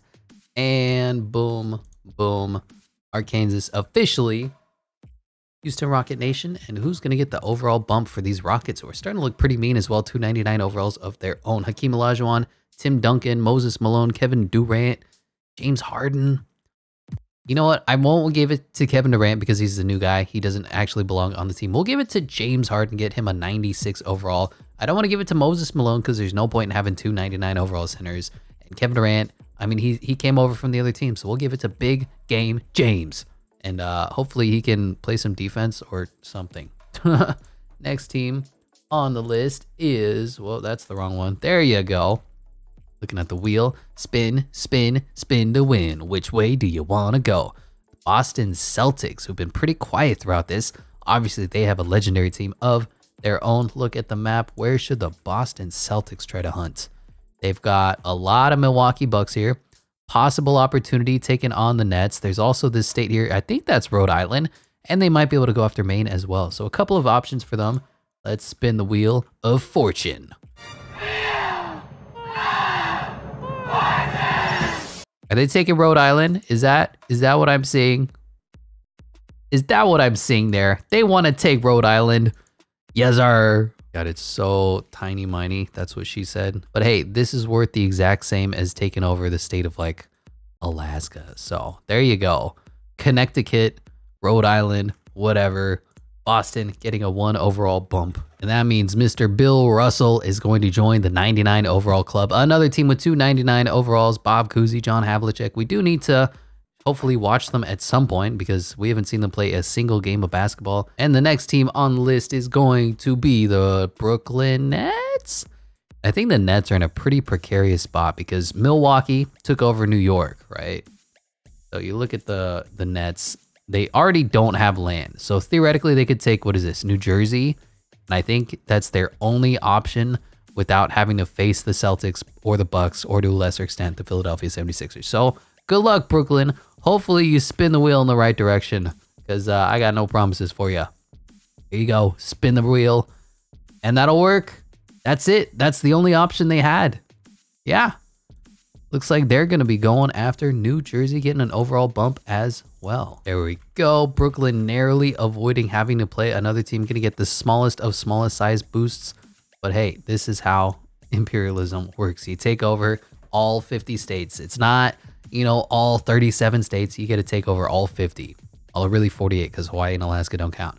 Dr. J or Kevin Durant are going to be joining this squad. We'll give Dr. J the 99 overall club. Kevin Durant will be next. Jason Kidd, James Harden, Drazen Petrovic, Vince Carter. I forgot he was on net.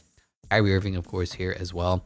Just a really interesting franchise. Is Brook Lopez This man's better be here. Yeah. Brook Lopez, of course, set all the records for Brooklyn because, and it looks like the next team is the Sacramento Kings. All right. All right, Sacramento. How you looking out there? I know you got to deal with the the Lakers at some point. Whole bunch of purple there. Probably going to be taking over Idaho. Worst case scenario, they're going to have to take on the Milwaukee Bucks. Not a great spot for the Kings to be, but I think they're going to have a good opportunity to spin to win. They got a good team. Don't forget, Oscar Robertson is pretty much a beast, and they just want to immediately take on the Bucks.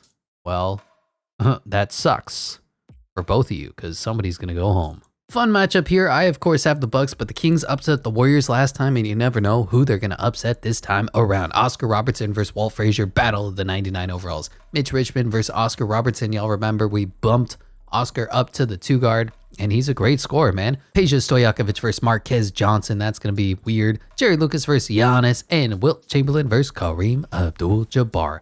Honestly, I don't know how the Bucks are so good. They had Oscar Robertson and Kareem Abdul-Jabbar. Now they have Giannis. I mean, they, they've just been weirdly lucky for a team that most people don't even know where Milwaukee is. But the Kings do, in fact, win the tip. Oscar Robertson bringing the ball up the court. Looks like they got a pin down screen for Peja. Nope. Or Lucas. Nope. Or Mitch Richmond. They just posting him up against Oscar. Oscar versus Oscar. Always my favorite matchup. And Giannis brings down the ball. We should have had Oscar guard Oscar. That just would have been battle of the two best point guards in the game. And an open three gets missed, a tipping gets missed, and nobody is able to score. Mitch Richmond bringing the ball up the court. Guarded by Oscar. Should we just have a team of Oscar Robertsons play a team of Oscar Robertsons? Who do you think would win? We already did that joke with Mikal Bridges earlier last season. Mitch Richmond gets the ball deep paint position, and he's going to shoot over Oscar Robertson. Oscar Robertson grabs the ball and kicks it up to Oscar Robertson, who's dribbling. Oscar now guarded against Oscar, ironically. Kicks it to Oscar Antetokounmpo, who goes and slams it down. The first points of the game is Oscar Antetokounmpo with the mean poster. The Statue of Liberty. Is it? What qualifies as a Statue of Liberty dunk? Anyway, going into Simcast, and we have a close game here in the first quarter. Bucks jumping out to a little bit of lead by halftime, about a 9 10 point game. Here in the third quarter, still a 10 point game. The Kings are just hanging around. If they can go on a little bit of run here in the fourth quarter, they'll be able to make this competitive. Still, the Bucks have about an 11 point lead here, up escalating it up to about 15, and it looks like the Kings cannot win a single quarter. Looks like Oscar Robertson is going to lose to Oscar Robertson 144 to 110. Oscar Robertson scored 29 and 10. You love to see that. Marques Johnson 26 for him. Ray Allen 20 and 8. Kareem was solid 16 and 13. Sidney Moncrief 14. Walt Frazier 13 and 18. And of course, Giannis 13, 7 and 8. Shot 6 of 9 from the field. Nice. As for the Kings, Wilt the Stilt was their best player and nobody scored in 20 point bunches. 19 and 6 for him. Mitch Richmond gave you 18. Oscar Robertson gave you 14 11. Honestly, a disappointing game from Oscar Robertson. Peja Stojakovic 12. Jerry Lucas 12, 6 and 9. Nice. Tiny Nate Archibald 11 and 8. And Boogie Cousins gave you 11. Who did not show up? Really, just the whole team didn't play well enough to battle against Oscar Robertson. That's going to happen when Oscar Robertson is going up against Oscar Robertson. Is the joke old yet? Unfortunately, the Kings go on the offensive and they lose in embarrassing fashion, officially get deleted. I think the smart move is to bring over the best player from the Sacramento Kings, and that's Oscar Robertson. So now you have Oscar Robertson at the one, Oscar Robertson at the two. Wow, they want to start Walt Frazier over him.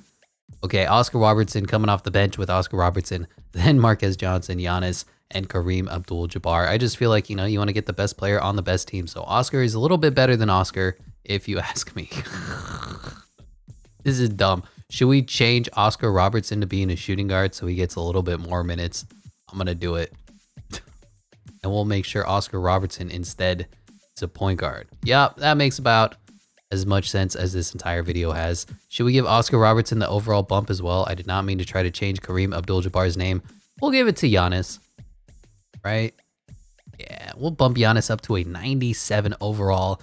That is going to do it for your Milwaukee Bucks dominating the Sacramento Kings. That means we need to get them off with the wheel. Go to here, press this button, and the Sacramento Kings get the hell off of my wheel as the spinner gets thinner. It looks like we have nine teams left in the rotation. Los Angeles Lakers, always a scary team. Where are they going to try to march to? You look at them on the map, say, all right, LA, you got Utah, you got Idaho possibly, and you got the Rockets and the Bucks.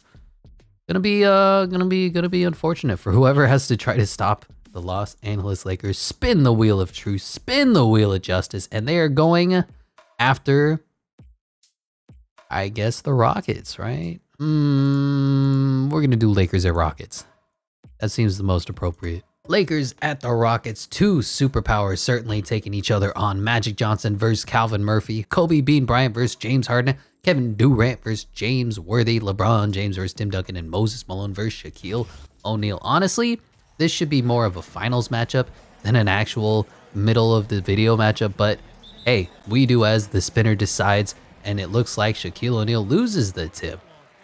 And Calvin Murphy and the Rockets look to upset those dominant Los Angeles Lakers who are always gods in simulation. James Harden just pulling up right in Kobe's face, and Kobe laughs. Kobe points and laughs. James Worthy brings the ball up the court. LeBron James, the Laker, pulls up in somebody else's face. I think that was Tim Duncan, and he misses. Really poor shot selection going on. Somebody runs some offense here. James Harden going to be pulling up, thought about it. Now Tim Duncan has the ball, nowhere to go, kicks it to Calvin Murphy, who's got a huge one foot height disadvantage against Magic Johnson. That's not what you want to see. And Calvin tries to do a layup, tries to get fancy, and Shaquille O'Neal says, Get that out of here. And now we have Magic versus Tiny Calvin. That's they really should be exploiting that every single position. Doesn't look like they're going to this time around. LeBron James just goes right around and throws it down. LeBron James schools Timmy Duncan on the perimeter, and that is to be expected. Hopping into Simcast, Lakers have a little bit of lead here in the first quarter, back and forth game going into the second quarter, and the Rockets are upsetting the Lakers right now. Can you believe it now? Going into the third quarter, look at the scoreboard. The hometown Rockets are rolling. How's that for alliteration? Going into the fourth quarter, Lakers might be able to go on a run. They have a 15 point deficit here. Got to make it up quickly. 15 to 6 fourth quarter here. Eight point game, seven point game. I'm not going to fast simcast because I think there's a chance, but the Lakers need to step on the gas pedal. Otherwise, they're going to come up just a little bit short. 10 point game here. One minute left. They can't score. Nine point game, 11 point game. And the Rockets look like they're going to upset the Los Angeles Lakers. Unreal, unbelievable. Kevin Durant carries the Rockets 28, 8, and 9. James Harden 26, 4 and 7. Timothy Duncan 23, 11 and 6. Hakeem the Dream Olajuwon 16 and 7. Clyde Drexler 15, 3 and 7. And T Mac gave you 14 and 10. As for the Lakers, they tried, man. Magic Johnson gave you 25, 3 and 6 on 13 shots. Shaq gave you 21 and 8. Big game James 17. Kobe only 16 points of his own. LeBron 15 points. It was a good competitive game, but overall, the Lakers, interestingly, come up a little bit short. Who would have thought that? And fairly early, all things being equal, into this imperialism, the Lakers get eliminated. And the Houston Rockets are starting to look like they're going to be the new superpowers of imperialism as the Lakers gone. Purple and gold say goodnight. Laker Nation, you're going to have to come in. If there's one person we want to upgrade upon, no offense to everything that Calvin Murphy brought us at five foot nine, but he just needs a little bit of a hype boost, and that means Magic Johnson is now a Rocket. And look at this collection of talent they picked up. Magic, James Harden, Kevin Durant, Tim Duncan, Moses Malone, Hakeem Olajuwon, Al Ming. What a team this Rocket squad is turning into. And it looks like they might have an all 99 starting lineup soon. We will give James Harden that next overall boost up to a 97. So they have 99, 99, 99, 97, 97, 97. the Rockets are ready to win this whole damn thing. And the Lakers get the hell off my wheel as the spinner gets thinner. We only have eight teams left, and the Brooklyn Nets are going to be next up on the list. Always in a precarious spot are the Brooklyn Nets. You look at them on the map, and they're like, oh, we're kind of surrounded by everybody right now. So they got the Boston Celtics to the northeast, the Boston Celtics. They got the Bucks to the north. They got the 76ers to the west, and they can't go south. So pretty much they're going to have to be playing somebody good luck, man. That's that's all I got for you, Brooklyn Nets. Of course, their best players are the most recent players they had: Kyrie Irving, Kevin Durant, and James Harden. And that is Northwest. Ooh, is that Bucks or 76ers? I'm gonna say, right? Follow me on this, because because right. Let's say we're right here. Man, that's about as middle as you can go. Let's flip a coin. All right, here we go. Flipping a penny, apparently. I can voice over to. Heads is you go north, you go to, what is it? The Bucks. Tails, you go south, you go to the 76ers. Bam, flip the coin, and unlocked. Baby steps. But we got an achievement, and it looks like Tails. It looks like they'll be taking on the Philadelphia 76ers. Nets at Sixers. You know, I'm not sure we looked at this net squad, but they're led by the 99 overall Julius Erving. Of course, Kevin Durant just leaving was the second best player in history for them. Jason Kidd, back when it was the New Jersey Nets, was a stud. James Harden, Drazen Petrovic. I never watched his game, but apparently he's a very good player. Vince Carter back on the Nets. Kyrie Irving, of course. Derrick Coleman, really 88 overall. Buck Williams. All right. Kenny Anderson. Uh, Brook Lopez, of course, the best net in history if you look at the record books. Richard Jefferson was on the New Jersey Nets as well. Kenyon Martin, Otis Birdsong, Keith Van Horn. I think we have looked at them. Keith Van Horn, by the way, was a sharpshooter back in the day, but going to be a fun matchup. Jason Kidd versus Allen Iverson, James Harden versus the GOAT Michael Jordan, Julius Erving versus the GOAT LeBron James, Kevin Durant versus Dolph Schayes, and Brook Lopez versus Moses Malone. Obviously, I got all my money, all my pennies that we're going to flip on the Philadelphia 76ers, the home team, the higher all overall team, the 299 overall teams, the two GOAT teams, plus the answer Iverson. But hey, you never know. It's a one game winner take all experience. And LeBron James is icing up on the doctor and he just blows right by Dr. J, making him look silly. Did you even try to play defense there? Whew. And this is one of those classic matchups Julius Erving versus Julius Erving. But Julius Erving is coming off the bench, so he won't be able to play one on one against Julius Erving as Julius kicks the ball up to Kevin Durant, who pulls up in GOAT Jordan's face and misses and misses. And Brook Lopez with the tip and gets his shit rejected. Kevin Durant does get the ball, but this is some high flying offense going on here. Kevin Durant kicks the ball out of bounds. Nets ball. What is this camera angle? And Moses Malone says, Not in my house, Brook. Brook Lopez on the inbound, and I don't know what this play is. Give it to Julius Erving. Sure, that'll work. Shot clock winding down. Four, three, two. Julius pulls up, elbow, misses. Brook, no rebound. Gives it up to Allen Iverson. We'll be going on to the next score. Allen Iverson pulls up, crosses up. He's got Jason Kidd on him. Grabs the screen. Nope, he's kicking it to LeBron. He's deferring to LeBron, and LeBron is going to go right around Dr. J again. He says, I got you cooked already. You don't even know it yet. Pulls up in his face and misses. A lot of misses when we watch. I will say that Julius Erving kicking the ball up to Jason Kidd, one of the best players in New Jersey Nets history. James Harden pulls up 4-3, and they take a commanding 3-2 lead. Hopping into Simcast at this point, the Nets have a little bit of a lead here in the first quarter. Going into the second, they still have a commanding lead here in the third quarter, kind of blowing out the 76ers. The Sixers failing to respond. Two GOATs on their team, and they cannot figure out how to score. Now they're making a little bit of a comeback here, but it might be too little, too late. 109.94. And it looks like the Philadelphia 76ers are going to lose to the New Jersey, also known as the Brooklyn Nets. Close game, but ultimately come up short 117 112. AI 24 and 10. Michael Jordan only 16 and 7? Really? LeBron James 15 and 7, Julius Erving 14. I'm surprised. I really thought the Sixers will play better, but look at it. Moses Malone gave you 8 and 11. Dolph Schayes gave you 9 and 6. Wes Unseld gave you a 6 and 7. What are these numbers? The Nets just played dominant defense. Look at Drazen Petrovic, 21 points. Vince Carter off the bench, 20 points. James Harden, 14, 4 and 6. Kevin Durant, 14 and 10. Brook Lopez gave you 13 and 8. Kyrie Irving, 13. Julius Erving, 12. Huh. Jason Kidd, 8, 5, and 7. I'm not sure how they did it, but the Nets won, and they won pretty easily as well. In this large stretch of land that the uh, Philadelphia 76ers were trying to capture is officially Nets Nation. Interesting upset as the Philadelphia 76ers are the latest domino to fall. So I'm a little bit torn here because there's obviously LeBron James, you know, the GOAT. There's Michael Jordan, you know, the GOAT. And then there's Allen Iverson, a GOAT in his own right.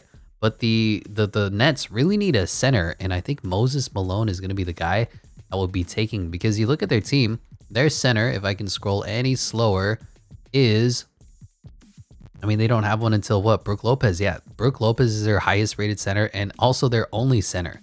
So Moses Malone immediately comes in and gives them a 97 overall. I know he's not the highest rated player on the 76ers, but they have Jason Kidd, James Harden, Julius Erving, Kevin Durant. They just needed a center, and now they have one. So who's going to get the one overall bump starting to join the 99 overall squad? I will give it to Kevin Durant. Just kind of seems right now, a 97 overall as well. And surprise of the day, the Philadelphia 76ers are gone. The spinner is getting thinner. Only what three, six, seven teams left on the wheel as the Orlando Magic are coming up next to bat. And looking at the map, you say, all right, Magic, you have to play somebody. You're going to be playing the Hawks, the Rockets, or the Hawks. it's really, it's really as simple as that, my friends. Good luck. Spin the wheel, spin the wheel. Which way do you want to go? And that looks like to me, you look at the map, looks like the Rockets. So we're doing Magic at the Rocket. We got Penny Hardaway versus Magic Johnson, James Harden versus Tracy McGrady, Grant Hill versus Kevin Durant, uh, LeBron James versus Timothy Duncan, Dwight Howard versus Moses Malone. Y'all already know who my money's on, but I think there's a chance, and I always say the same damn thing every single time. But the Magic have been upsetting teams recently. They got LeBron James on their team as well. Maybe LeBron will play well in simulation, and maybe the Magic will upset this kind of cobbled together Rocket squad that just has a bunch of 99s on their team that most of them aren't even Houston Rockets originally. Dwight Howard doing a jump hook. a jump hook. Good luck, my friend. And this is Magic Johnson. That's right. I have to get my all-time greats remembered. Bringing the ball up the court, kicks it to Kevin Durant. Just they don't look good in Rocket jerseys. I don't know how else to explain it. Getting a screen from Timothy Lee Duncan and Kevin Durant verse Nobody. Timothy Duncan misses. That was kind of a weird pick and roll, but LeBron James coming up the court the other way. He pulls up from a long two. He misses as well. Dwight Howard flies in for the rebound, but does not get it. James Harden has the ball now in his hands. Going to get a screen from Tim Duncan. Nope, Tim's going to get the ball. He's going to pass it to an open Kevin Durant.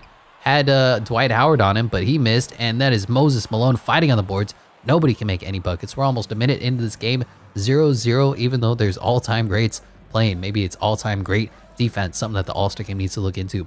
LeBron James has the ball ISOed up on Moses Malone, grabs the screen. Tim Duncan closes out, and LeBron misses, but there's Dwight Howard on the putback. Can we get a can we get a normal score? is they just gonna be putbacks only? Like that's all I ever see go in is putbacks. Ah boy, Kevin Durant being picked up by Grant Hill right now. Gonna get a screen from Timothy Duncan. Gonna get the switch and Kevin Durant 4-3. Wow. the most embarrassing air ball I've ever seen in my life. Tracy McGrady going to try to respond. James Harden playing defense if he can believe it. And look at that screen and roll. Dwight Howard getting two points. I didn't want to watch the highlight, but here it is. Look at this dunk. Oh my God, isn't it completely unremarkable? As we're hopping into Simcast, Magic have a 4-0 lead here in the first quarter, and they have a commanding lead in the second. This is what I'm saying the Magic just seem to play better. They've got great chemistry. They're upsetting the other teams. I say that. Maybe I jinx them now. Only a 13 point game here in the third quarter. 10 point game. Rockets can go on a little bit of a run there. They're going to make this competitive, but the Magic are trying to say no. They're trying to extend and hold on to this lead about 11 points, 109 98. Four minutes left. The Rockets got to make a run quick. They've been trying 105, 111. Three minutes left. Nine point game. Seven point game. Score, Houston. Score 109 116. That's not close enough to hop in. 111 116. Five point game. One minute. One second left. Rockets had the ball. They need a score and a stop. Magic Johnson ISOing up against Penny Hardaway. And I don't know what's happening, but he just shoots the ball over. And that's, who is that? Moses Malone with the long two? Yes, it is. Kind of would have liked the three at this point with uh, the double big lineup working. Yao Ming setting a screen, apparently and Moses Malone cuts it to a single possession game. 116 113. LeBron James with the center on him pulls up wide open. Missed! LeBron James can't hit clutch bats. It's words. I'm five hours into recording, and Moses Malone steps out of bounds. He's choking. Tragic Malone. That's not his name. That's not what you want to see either from your superstar center is just stepping out of bounds for no reason in particular. Shaq subbing in and Penny Hardaway bringing the ball up the court, being guarded by Magic Johnson, and he throws it away. Magic Johnson on the break. They're not going to push the pace. He doesn't know where he's going with his damn life. He's crossing over. He's stepping back. He's pulling up. One-handed jump shot. Misses. And the Rockets are going to have to play the foul game if they want to come out of here champions. It looks like every single team that has all the 99 overalls in their squad, they lose. I don't know what this is, but this is upset city. Is this March Madness already? Grant Hill going to inbound the ball, and LeBron James needs to hit some clutch free throws. I think in 2K, they believe he's a good free throw shooter, so he's probably going to make them both. Make this a really tough game to win for the Rockets. Now a four-point lead, two-possession game, and the next one is up and in.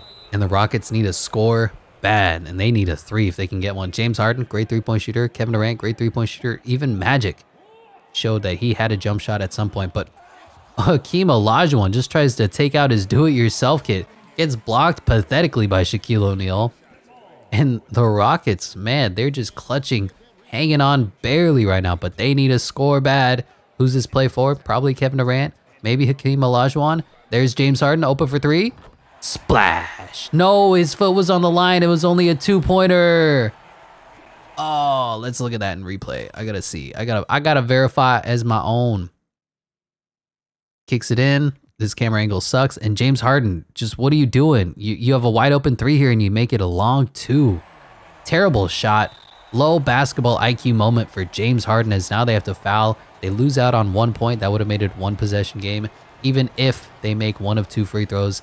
And now it's back up to a four point game. Tracy McGrady trying to ice him out and does. And now five point game desperation setting in for the Houston Rockets. They need to run up the court quickly. Magic Johnson dribbles, kicks it. James Harden pulls it, misses, and that is game. Shaquille O'Neal going to the free throw line, gonna ice them out, and the Rockets fall to the Orlando Magic. Can you believe it? Hakeem fought, scratched, and clawed. He was the only one who did 28 and 5 from him. Magic 18, 9, and 7 stuffed the stat sheet. Kevin Durant only gave you 15 points on 15 shots. James Harden 12 on 6 of 14 shooting, 0 of 7 from the 3 and did not even hit that three-pointer in the clutch. Clyde wasn't all that great. Tracy McGrady gave you 10. Yao. Tim Duncan a little disappointing. 7, 10, 15 assists, but you want more than 7 points from someone who's a 99 overall. And Moses Malone only gave you 6 and 7. As for the Magic, LeBron James dominated 31 6 5. T Mac 24 7 11. Penny 18 5 and 13. Dwight Howard 15 and 8. Shaq 13 and 9. Vooch 10 and 3.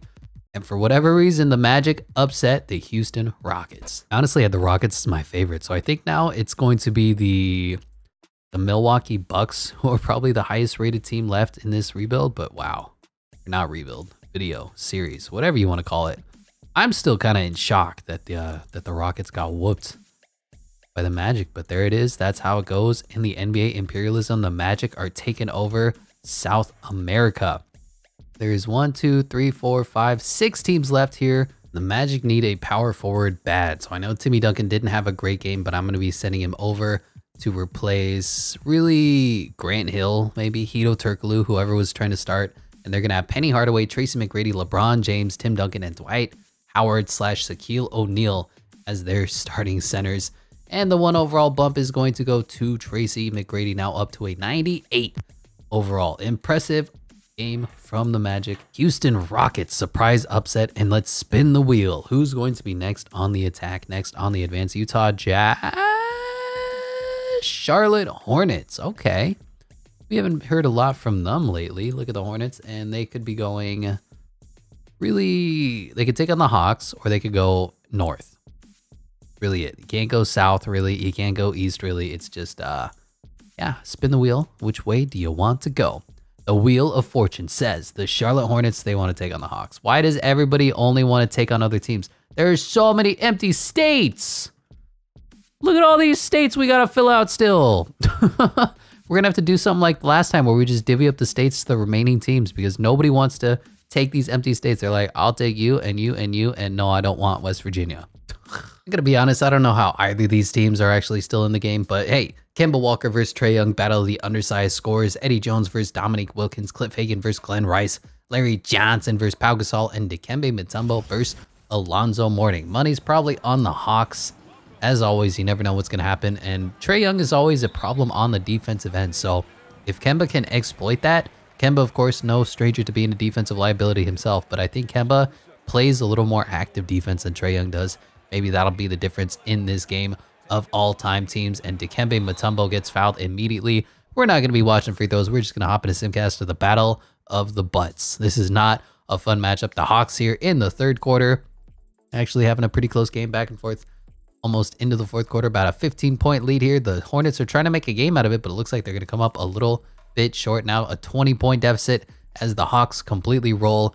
Not really an impressive or fun game to say the least, but the Hawks do what they do best, and that is dominate. Bob Pettit, 26 and 10. Cliff Hagan, 18 and 12. Pau Gasol, 18 and 11. Trae Young, 17 and 13. Dominique Wilkins, 17 and 6. Lou Hudson, 14. Joe Caldwell had a pretty good game as well. As for the Hornets, Eddie Jones, 20 and 9. Okay. Kemba Walker, 19 and 14. Larry Johnson, 19. Alonzo Mourning, 17 and 10, but not enough help from guys like Del Curry and Vlade Divac. And that's why this team isn't that good. Hornets lose in fairly unimpressive fashion as let's get their logo off the damn Mac. The Atlanta Hawks are growing and there is only six teams left. Hornets are sitting over Glenn Rice, who's a 91 overall. I mean, he's not even going to really crack the rotation more than maybe 20 minutes a night. But hey, you know, you, you win some, you lose some. And in this case, the Hawks did, in fact, win. Now to go back to the wheel of doom, the wheel of justice. Hornets, get the hell off my list. And spinning the wheel one more time to see who's gonna go next. Is it the Utah Jazz or the Magic? It's the Magic, the upset kings. Magic. What direction do the Magic want to go? They can really take a whole bunch of states. They could take on the Jazz. They could take on the Hawks. really depends on what direction this arrow says, as long as it doesn't say south. Don't go down. That's kind of downish. That's, uh, is that the Hawks? Should we just do the Hawks? Get this out of the way as well. It's to be Magic at the Hawks. Sure. Game. Penny Hardaway versus Trae Young to be a defensive liability. Tracy McGrady versus Dominique Wilkins will be fun. LeBron James versus Cliff, Cliff Hagan. Tim Duncan versus Pau Gasol. Dikembe Mutombo versus Dwight Howard. Definitely an interesting one. I, I have the Magic, hands down, easily. I'll take the plus 500 odds. But you never know. Although I do think that the Hawks are probably the most unimpressive team left in this video. Even though the Celtics have played like twice, they still like the Lakers have the best team ever as LeBron James is taking ridiculous Steph Curry threes. Pau Gasol almost steps out of bounds. I feel like we keep seeing the same animations. Like the, the AI script for whoever's playing this just keeps doing the same thing over and over. Trae Young misses a wide open three because what else is new for Atlanta Hawks fans? Penny Hardaway dribbling the ball. Who's this play going to? Is it going to LeBron? Is it going to Tim Duncan? Is it going to Dwight Howard? It's going to nobody. LeBron going to be open for three. Doesn't know what to do with all this space. Now pulls up. No, he gives it away. Tim Duncan takes a contested two, and he makes it. Do we really need a highlight of this? It was a contested two-point jumper. Come on now. Hop it into Simcast, and you got the Magic taking a little bit of a lead here in the first quarter, going into the second quarter. Hawks are trying to fight back, but they don't have the firepower, and now they do. They take the lead here into the fourth quarter. The Magic only scored 17 points in the third quarter. Are the Magic going to get upset now? Six minutes left. It's a seven point game, nine point game, seven point game. The Hawks are just dominating. This entire second half, the Magic are going to be held under like 40 points for the entire second half as the Hawks walk away victors. I counted them out. I doubted them. And they won 114 to 95. Dominique Wilkins had a dominant performance. 37 3 and 4 steals. Cliff Hagan gave it 23, Trae Young 16 and 7, Lou Hudson 14 and 4, Glenn Rice 10, Pau Gasol 8 and 12. Wow, the Magic just disappointed. Penny was good, 22 for him. T Mac was okay, 14 and 12. LeBron 14, 6 and 8. Timmy D 14 and 7. Grant Hill 12 and 2. The centers just got worked. Wow, did not expect the Magic to lose, but there you have it, another upset in the books. All this territory that the Magic were able to claim is going to be taken away, going officially to your Atlanta Hawks, who have now taken over the South of their own. Kind of weird seeing the Magic disappear off the map, and now the teams are getting fewer and fewer and weirdly less talented. It seems like the more players that you have on your team that are good, the more likely they are to lose. So the Hawks need a point guard, and Penny Hardaway is here 94 overall. But here's what I'm going to do I'm going to take LeBron James, send him over to the Hawks, and drop him down to play the point guard position over Trae Young. Playing his natural point guard position, which means their rotation going to look like this LeBron James, Dominique Wilkins, Cliff Hagan, Pau Gasol, and Dikembe Mutombo. I wouldn't say a team of world beaters, but LeBron James is there and they got a serviceable team. Glenn Rice also coming off the bench. Can't forget about big baby Glenn. Going into the browser, the Magic are gone. The spinner gets thinner. Five teams left. Celtics, probably the favorites to win it all. Bucks certainly there as well as the Celtics. Just as I spoke about them, are next on the list. So where are the Celtics going to go? They can take Maine, they can take on the Nets or they can take on the Bucks. It's really as simple as that. Not a lot of opportunity for for losing yourself here as we spin the wheel of fortune and they can't you can't go that way. You literally you can't. You just can't. There's there's no possible way for you to go that way. And it looks like it's going to be Celtics at yeah, that's about as Bucksian as it gets. So Celtics at the Bucks. Let's go. What up, y'all? Airball from the future here. Now, I did miss recording the simcast of this, but you didn't miss anything. There is 1 minute 57 seconds left of this Boston Celtics at the Milwaukee Bucks game. Celtics have a one point lead and the ball in their hands. Kareem Abdul Jabbar just reverse dunked it, and now the Celtics need to get a dagger bucket. Somebody named Cowens has the ball being picked up full court by Kareem Abdul Jabbar. Larry Bird passes it. John Havlicek passes it. Kevin McHale dribbling up on ISO. That's not a mismatch, and John Havlicek gets his shit rejected. Sidney Moncrief kicks it up to Oscar Robertson. He's got Larry Legend on him. Is he a defensive liability? Could be. Giannis now with the ball in his hands, kicking it to Walt Frazier, who's left wide open for three, and the putback from Sidney Moncrief gives the Bucks a one-point lead, first lead of the game that I know of. Walt Frazier now trying to play defense. Bob Cousy just pulls up and misses, and now the Celtics need to get a stop. Oscar Robertson bringing the ball up the other way. Larry Legend trying to guard him. Larry not a great defender, but he's servicely. oh my God, Oscar just threw it away to nobody. Bob Cousy bringing the ball up the court, does a half spin, dribbling, doesn't know where to go with the ball, kicks it. Kevin McHale kicks it. Larry Bird loses the ball, fumbles the ball, got a wide open lane to the paint. What is happening? These animations are getting silly, and Larry Legend takes the lead with a little left hand floater. 140, 139. We got a close one here in Boston. No, in Milwaukee. Giannis inbounding the ball to Walt Frazier, who's got Larry Legend on him now. Is Larry playing point guard as now he's throwing the ball away? Why are these 99 overalls terrible point guards? Stop throwing the ball away for no reason. Bob Cousy with the mean Euro puts the Celtics up three points. Did you know they had the Euro step back in 1955? Or whatever year Bob Cousy played. That was beautiful. Oscar Robertson and the Bucks need to respond. Unfortunately, Giannis can't shoot. Offense has to be generated somewhere else. Right now, it looks like Kareem Abdul-Jabbar is too close to the basket. That's two points right back. 37 seconds left in the game. 13 point point differential. 13 point shot clock differential. That's probably the word I'm looking for. Bob Cousy has the ball. Gonna drain the clock as much as he can. Hopefully get an open shot for Larry Legend or John Havlicek Splash! And that is a four point lead now for the Boston Celtics, leaving them wide open for three. The Celtics have only played one or two games in this Imperialism series, but they are rocking and rolling. Bucks looking to respond. Taking it to Kareem Abdul-Jabbar, who's almost going out of bounds. Oscar too close to the basket, gets blocked pathetically. Sidney Moncrief puts it back up, and he gets a bucket. And now it's time to play the foul game. Boston Celtics call their last timeout. Bob Cousy gets the ball, Bob Cousy gets fouled, and he's going to have to make some free throws. If he makes two, it's a two possession game. If he misses one, Bucks have a chance to tie it up, and that is an ugly looking free throw shot. Doesn't matter though because it goes in. The short shorts shine. And he misses the second one. There's still a chance. Three point game. AI doesn't know about fouling when you're up by three points, but here you are. Giannis pulling up from three. Misses. Kareem grabs the rebound, kicks it to Frazier. And he misses and Kareem slams it back down, but there's only four seconds left. This is gonna be game. The AI is gonna fumble the bag here as Bob Cousy gets the ball. 3.4 seconds left. Damn, Giannis can't shoot. And that means that Giannis and the Bucks fall to the Celtics. Unless a full court shot goes in, which it never does in 2K, Cousy makes both free throws and Oscar Robertson gonna pull up three quarter court and that is game. The Boston Celtics eliminate the Milwaukee Bucks, all because Giannis can't shoot. Great game from both teams, honestly. Kareem had a good one, 26 and 10. Matt, uh, Marques Johnson, 21 points from him in 24 minutes. Oscar Robertson was solid, 19, 6 and 8, and Oscar Robertson was solid, 19, 4 and 8. Sidney Moncrief gave you 19 and 7. Giannis, 16, 9 and 9, but just came up short with that missed three-pointer. Ray Allen Probably should have been on the court when you're down by three, but Bob Cousy had a ridiculous game. 36 points, 13 assists. John Havlicek, 24 and 8. Kevin McHale, 24 and 9. Kevin Garnett gave you 16.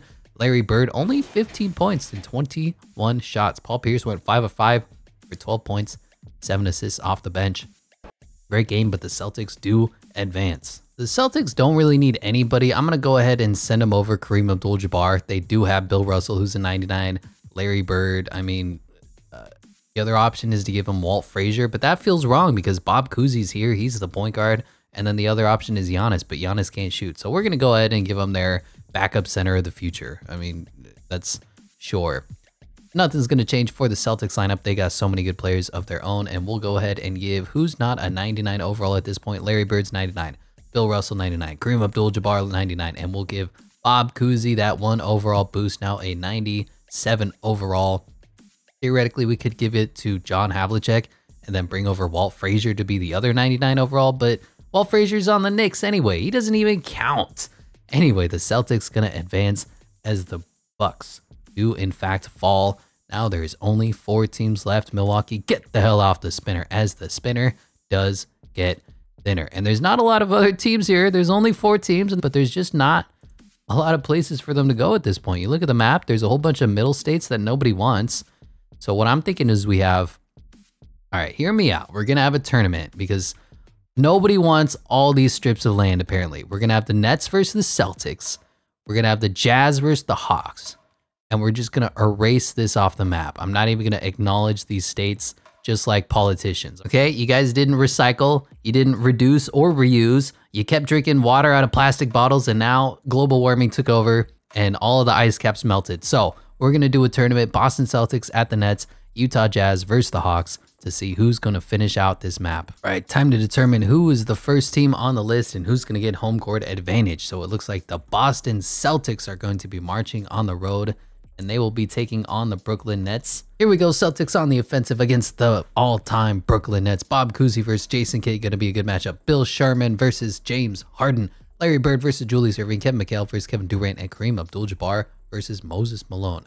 Why is John Havlicek coming off the bench? Here we are, the semifinals of NBA imperialism of all time teams. I know we took out some of the states that just were going to take forever. The problem is there's so many states that have so many overalls and it's going to take a long time and they just they give you a one point overall these guys are already super good there's basically all 99s in the starting lineup so i feel like it's okay to just skip over some of the busy work skip over the boring bits and just get right to the action that action is in brooklyn celtics versus the nets definitely a good matchup here celtics have all the history on their side the nets are trying to bring in some young history they've got a young kyrie irving and james harden and uh, kevin durant Julius Erving is an old holdover. Jason Kidd, kind of modern, kind of not really, as you take a three and miss. I don't know who that was, but that was not a good look for the Celtics as we have a defensive masterpiece, a clinic being put on right now.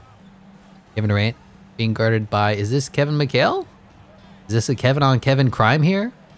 Lots of K's going on. Alliteration. Kevin Durant going to go around and he's just going to, oh, he gets fouled as we are going to hop into Simcast here. Battle of the East Coast. Brooklyn and Boston, baby.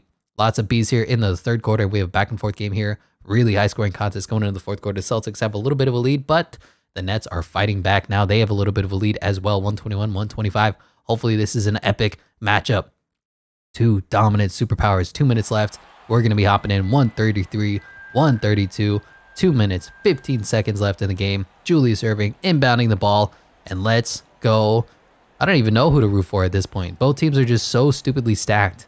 You want to root for history with the Celtics, or do you want to root for uh for modern basketball with the Brooklyn Nets? Julius Erving gonna be open, passes it up.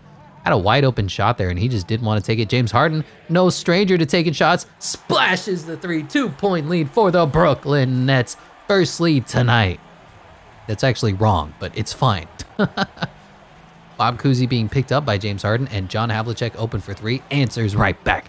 136, 135. They're throwing haymakers at each other right now. John Havlicek splash, James Harden splash. What do the Brooklyn Nets have in store? Only 1 minute 48 seconds left. James Harden, is he just going to ISO up on Bob Cousy here? He is. He's going to go around and he tries to draw the foul. Ends up getting stripped as well. Bob Cousy bringing the ball up the other way. Didn't have anybody in transition, and now he's just dribbling, waiting for somebody to come set a screen. Looks like he's iced up on Dr. J. I don't like that matchup, but he goes right around him. Dr. J was a traffic cone. What are you doing, Doctor? Ooh, that defense was embarrassing. James Harden has to come over to play help defense. That was how bad your defense was. Nets down by three, one minute, 20 seconds left. They need to get a bucket soon. Haven't seen Kevin Durant touch the ball. Looks like James Harden's just going to try to take out his do-it-yourself kit, and he misses. Kareem Abdul-Jabbar vacuums up the rebound. John Havlicek bringing the ball up the other way, pulls up. That's not a good shot. Didn't waste any time. Didn't get a good look. That was a contested jumper, and he just took it. Okay, the door is still open. for the Brooklyn Nets. Kevin Durant finally getting his first touch, and it seems like forever. Being picked up by Havlicek. Moses Malone versus Kareem Abdul-Jabbar. Who he got? Jump, and he gets so wadded. But James Harden picks up the three, and he gets fouled on the three-pointer. Okay, one of the most scary opportunities for all NBA players. Down by three, got to make three free throws to tie the game. First one is up. And James Harden chokes. Choke artist. Hold the throat, Reggie. That's a choke job. James Harden can't even make one. And now one for two. Need this, and it's a one point game. Splash. Boy, James Harden, if he didn't choke that, we'd have a tie game here, but there's 50 seconds left in the game. Bob Cousy bringing the ball up the court. And I hope this play goes to Larry Bird, but Bob Cousy's taking a fading three and missing. That is not what you want to see. Set your feet, Bob. Set your feet, Bobbert. James Harden looking to do everything, just jacks up a three of his own, misses, and they do not get the rebound. This is going to be the last possession before we play the foul game. The Nets need to stop. Bob Cousy, and they're just fouling. All right, they 2K is dumb. That's all it is. They're like, we're not going to foul. And then they go, actually, we're going to foul. Well, now you're down by three. James Harden's probably going to jack up another shot as Bob Cousy makes both of his clutch free throws. Hopefully they can get an after timeout play drawn up for Kevin Durant because this man is not getting the touches that he needs. James Harden is just jacking up every shot like he's Steph Curry, man. Like he's Trae Young. And here's James, in fact, getting the ball and they call another time. 2K is so dumb. Okay, no timeouts left. Inbounding the ball yet again. James Harden calling for it. Looks like he's not going to get it. Looks like it goes to Kevin Durant, who gives it to James Harden, who pulls up for three. Contested hand in his face, misses. Moses Malone on the glass, gets the foul. Maybe could have been an and one call, but there you go. One point game. They need to play the foul game and John Havlicek is going to pit it picked up, have to go to the free throw line to make some clutch free throws. I don't know why we're looking at this guy when John Havlicek needs to shoot free throws. Look at him. Look at his face animate. And splash makes the first one. Second one to make it a three-point game. Stance up and in. Two for two. It's a three-point game. 20 seconds left. James Harden is going to have to jack up a three and miss embarrassingly.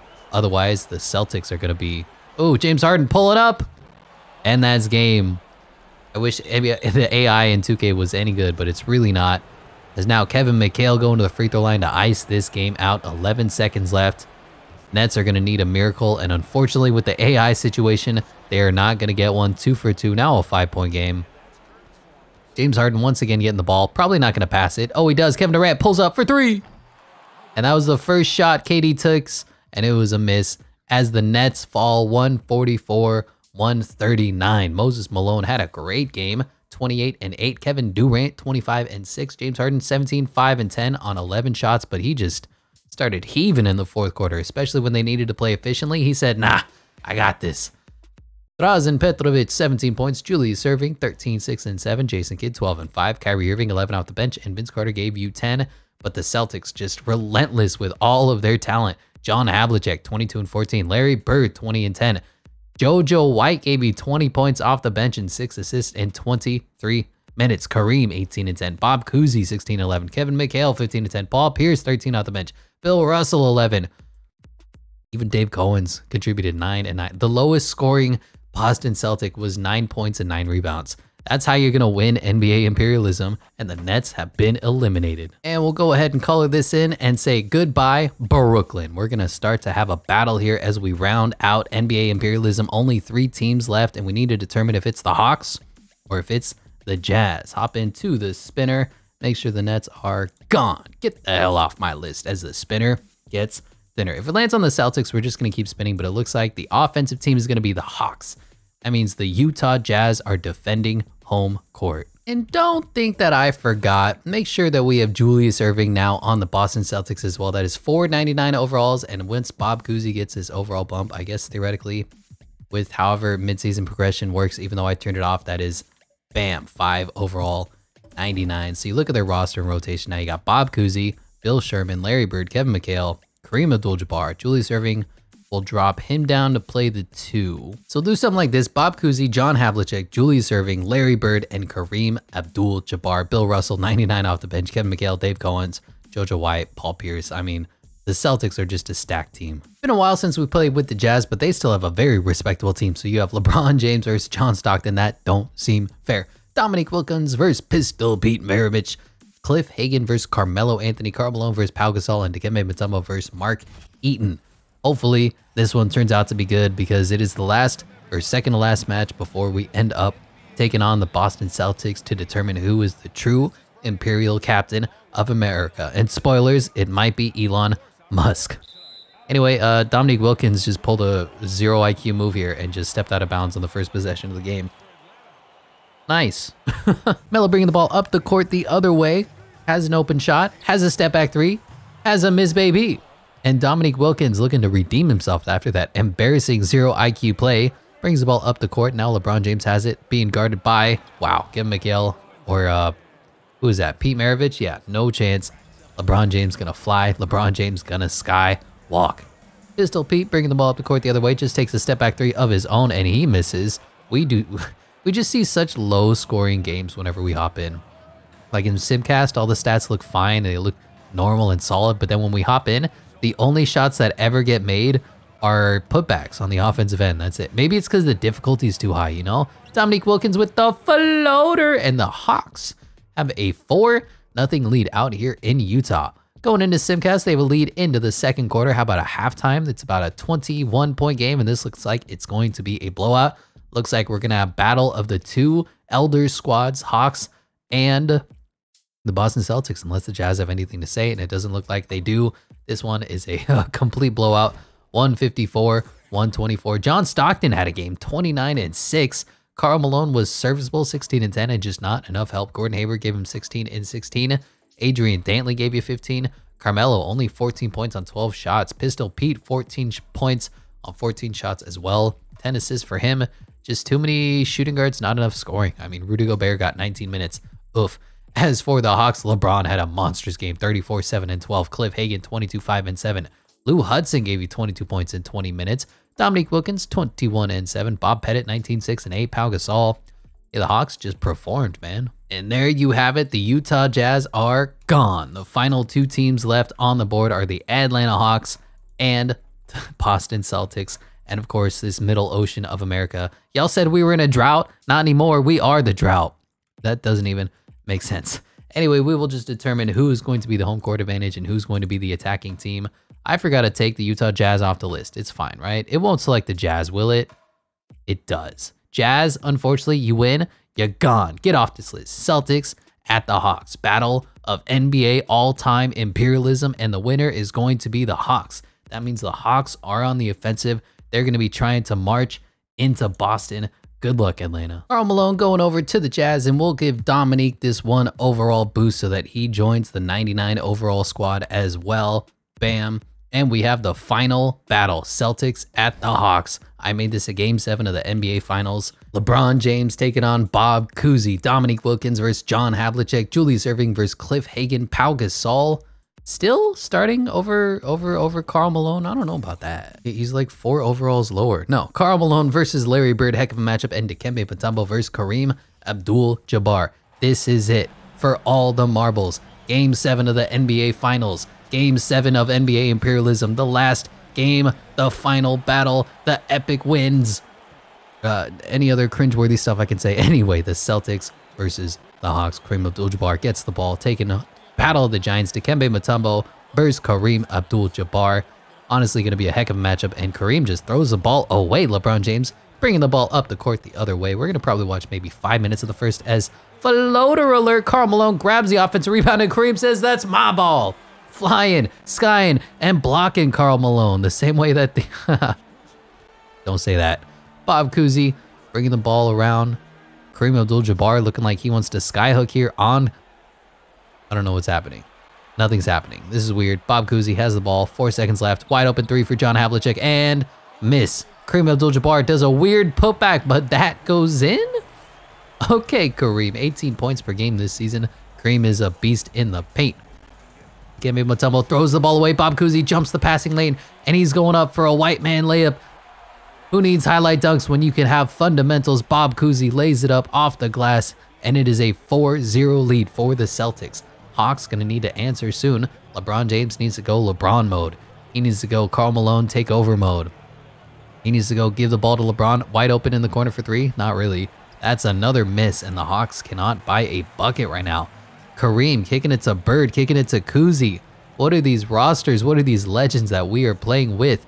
Cousy gives it to Havlicek, and this play looks like it's going for Larry, Legend, the Bird, man, splash. Ugh. He missed, and LeBron James brings the ball up the court the other way. Already been almost two minutes, and it is a 4-0 game. Real barn burner, if you ask me. Karl Malone looking to set a screen. Never mind, he gets rejected. Now he's going to set it again. And Hagan goes around. Wide open, mid-range, miss. Boy, the Hawks cannot buy a bucket right now. They have scored zero points in the first two minutes of this Game 7 finals. Kareem being picked up, weirdly, by Karl Malone. And Bob Cousy versus LeBron James. Larry Bird open from the elbow and he misses. Mutombo snatches that rebound from Kareem. Zero points in the last two minutes, zero points in the first two minutes. The Hawks cannot find their offense right now. They got LeBron James. They got Dominique Wilkins, 99 overall. They got Karl Malone, and they cannot get any points. Dominique just kind of holding the ball now. Kicks it to Dikembe Mutombo, who's going to give you offense. Looks like he's traveling. Looks like he's getting blocked pathetically. No time left on the shot clock. Has to put it up, and he still cannot get the first points for the Atlanta Hawks. Real struggle here as Dr. J just goes right around, glides around Hagan, and he gets two points. Dr. J fist pumping. Not looking good if you're an Atlanta Hawks fan. Thank God these NBA games are long and tedious, but it is already 7 to nothing. We are waiting for the Atlanta Hawks to get their first points of the game. Almost three minutes, and they still have not scored. They need a timeout. And Dikembe inbounds the ball to Cliff Hagan. Hagan got Dr. J on him. LeBron James going to try to run some offense here. Looks like they might have a double screen set up, and he just rejects everything. Nope, there he goes. One screen, pulls up from three, and he misses because LeBron James can't shoot. And this is still a zero, a blank, a nothing. Larry Bird pulls up. He gets his shit blocked by Dikembe Mutombo. Dikembe sticks that big finger up, says, not in my house. LeBron bringing the ball up the court. Feels like he has a massive side size advantage here against Bob Cousy, but they're going to try to give it to Karl Malone out of the post, guarded by Kareem Abdul-Jabbar. Malone, shimmy, shaking, stepping out of bounds, pump faking, missing a layup. We're about to go four minutes without a single point being scored by the Atlanta Hawks. Rough, brutal stretch of basketball right now. Larry Bird wide open from the free throw line. Splash. 9 nothing. Larry saying hype. Larry saying, I got this. Larry saying, I'm the best small forward in history, not that LeBron James fella. LeBron trying to go right around Cousy, take out his do-it-yourself kit, and he finally gets the first points of the game for the Atlanta Hawks. Go almost the entire first quarter, but they have a nice battle here into the second quarter, and the Celtics are stomping. Here going into the third quarter, it is a 91-88 game, 93-96, and we'll hop in with about five minutes left regardless of the score. I think there's still a chance that the Hawks can make a little bit of a battle, but it might be close, might not be. 109, 111. Celtics inbounding the ball with about four minutes left. Bill Russell making his way into the game. And Kevin McHale going to run off some screens. Okay. Nothing happening. It looks like there's Tom Brady on the court. Who is this? That's the Cowens guy that I never knew. Julius Erving. Looked like he had a lane. Now he's stepping back, trying to get two. Go the highlight. Dr. J flying the first professional dunker. Look at him go. Posterizes poor Dominique Wilkins. And it's now a four point game 109 113. LeBron James waiting to check in, but Hagan is going to ball handle, going to pull up from the elbow, and he's going to miss. Is this more of the same of what we saw? The Atlanta Hawks going absolutely empty every single trip while the Celtics score efficiently. And looks like they just throw the ball away to Dikembe Mutombo. That'll work. Hagan bringing the ball up the court. Got a center on him, and he's going to draw the foul. How is LeBron James going to check in if he's playing point guard? First free throws up, and good.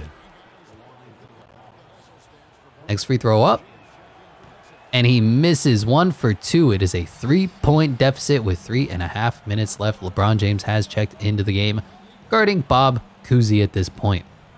Uzi wait for the play to be set up. Looks like it's just a swat and a foul call. Larry Bird gets bailed out with the superstar foul call. That looked clean. I'd challenge it if I'm the Atlanta Hawks, but Larry Bird gonna go to the free throw line and probably make both his free throws because this man is a killer. This man is clutch and he's already scored 23 points and 8 assists. Make it 24. Hawks, three and a half minutes. They need to start responding. Down by five. Not out of it yet. Need to run some good offense, play some good defense, and hopefully there'll be enough time for a small comeback as Dominique Wilkins draws the foul and almost hits the and one. John Havlicek picking up his fifth foul. And Neek going to the free throw line, making the first. 14 points, 4-4 from the free throw line, and make that 5 of 5, 15 points for Dominique on the night. Bob Cousy gonna try to run the troops the other way. Down or up by three are the Celtics.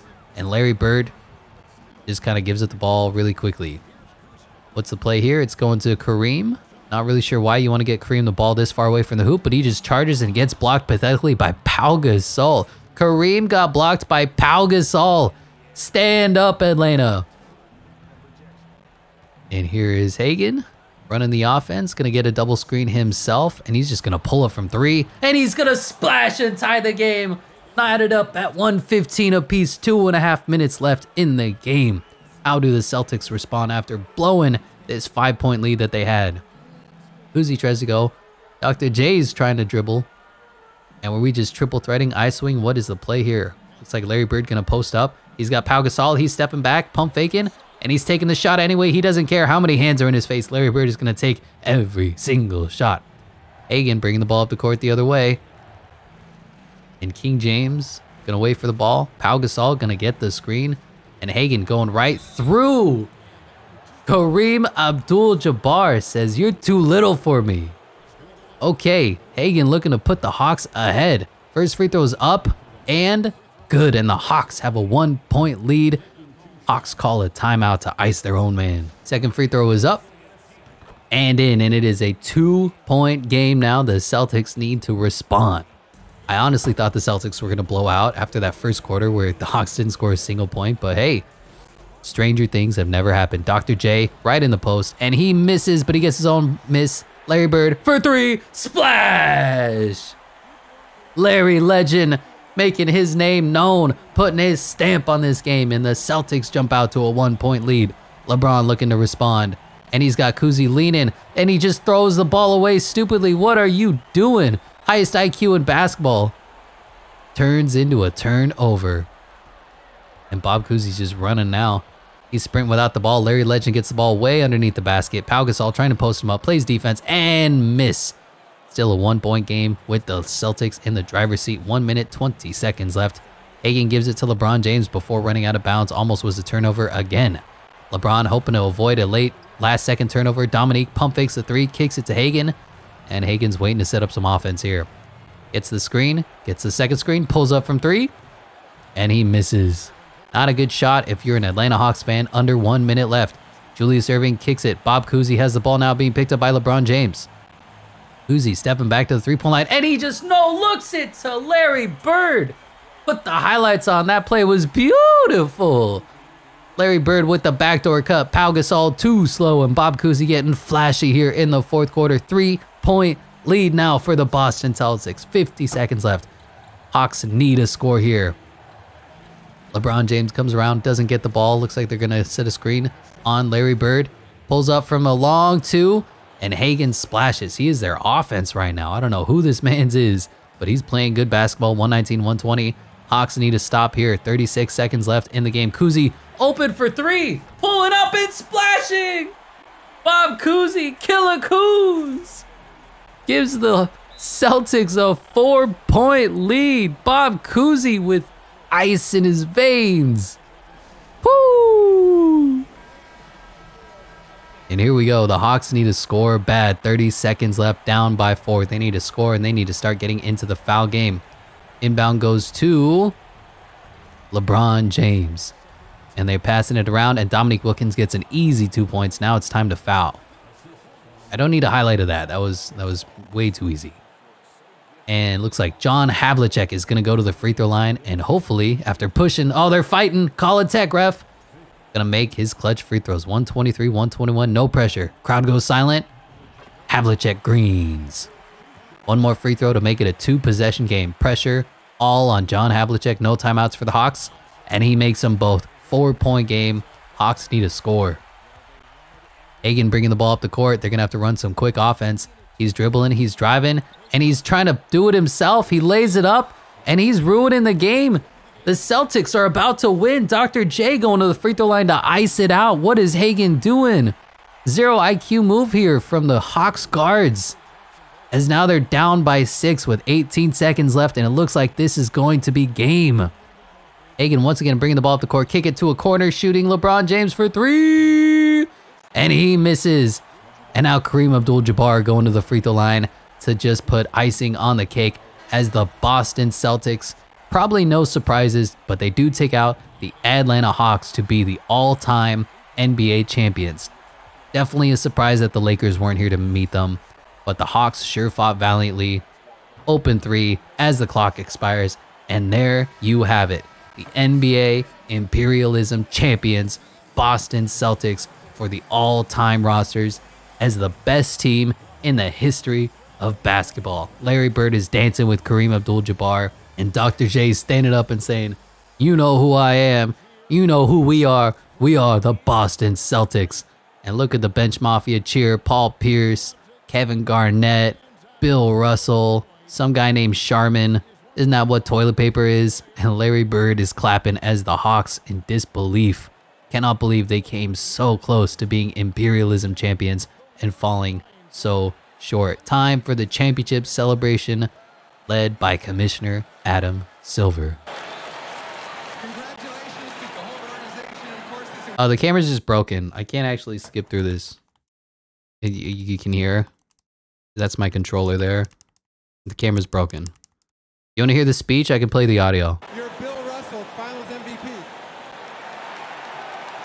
And there you have it. Larry Bird, killer instincts, Bob Cousy pulling up from three, and of course, no look passing, and the duo that led the Boston Celtics to many championships leads them to the Imperialism Championship. Good game from Larry Legend, same from Julius Erving. As for the losing team, LeBron James played valiantly 29 5 and 10. Cliff Hagan apparently balled the hell out. Neek was okay, but they just did not get enough help from the bench. And just to make this whole damn thing official, there you have it. Boston Celtics Imperialism NBA champions for the all-time great teams. That's going to do it for this one. Thank you so much for watching. I will catch you in the next one.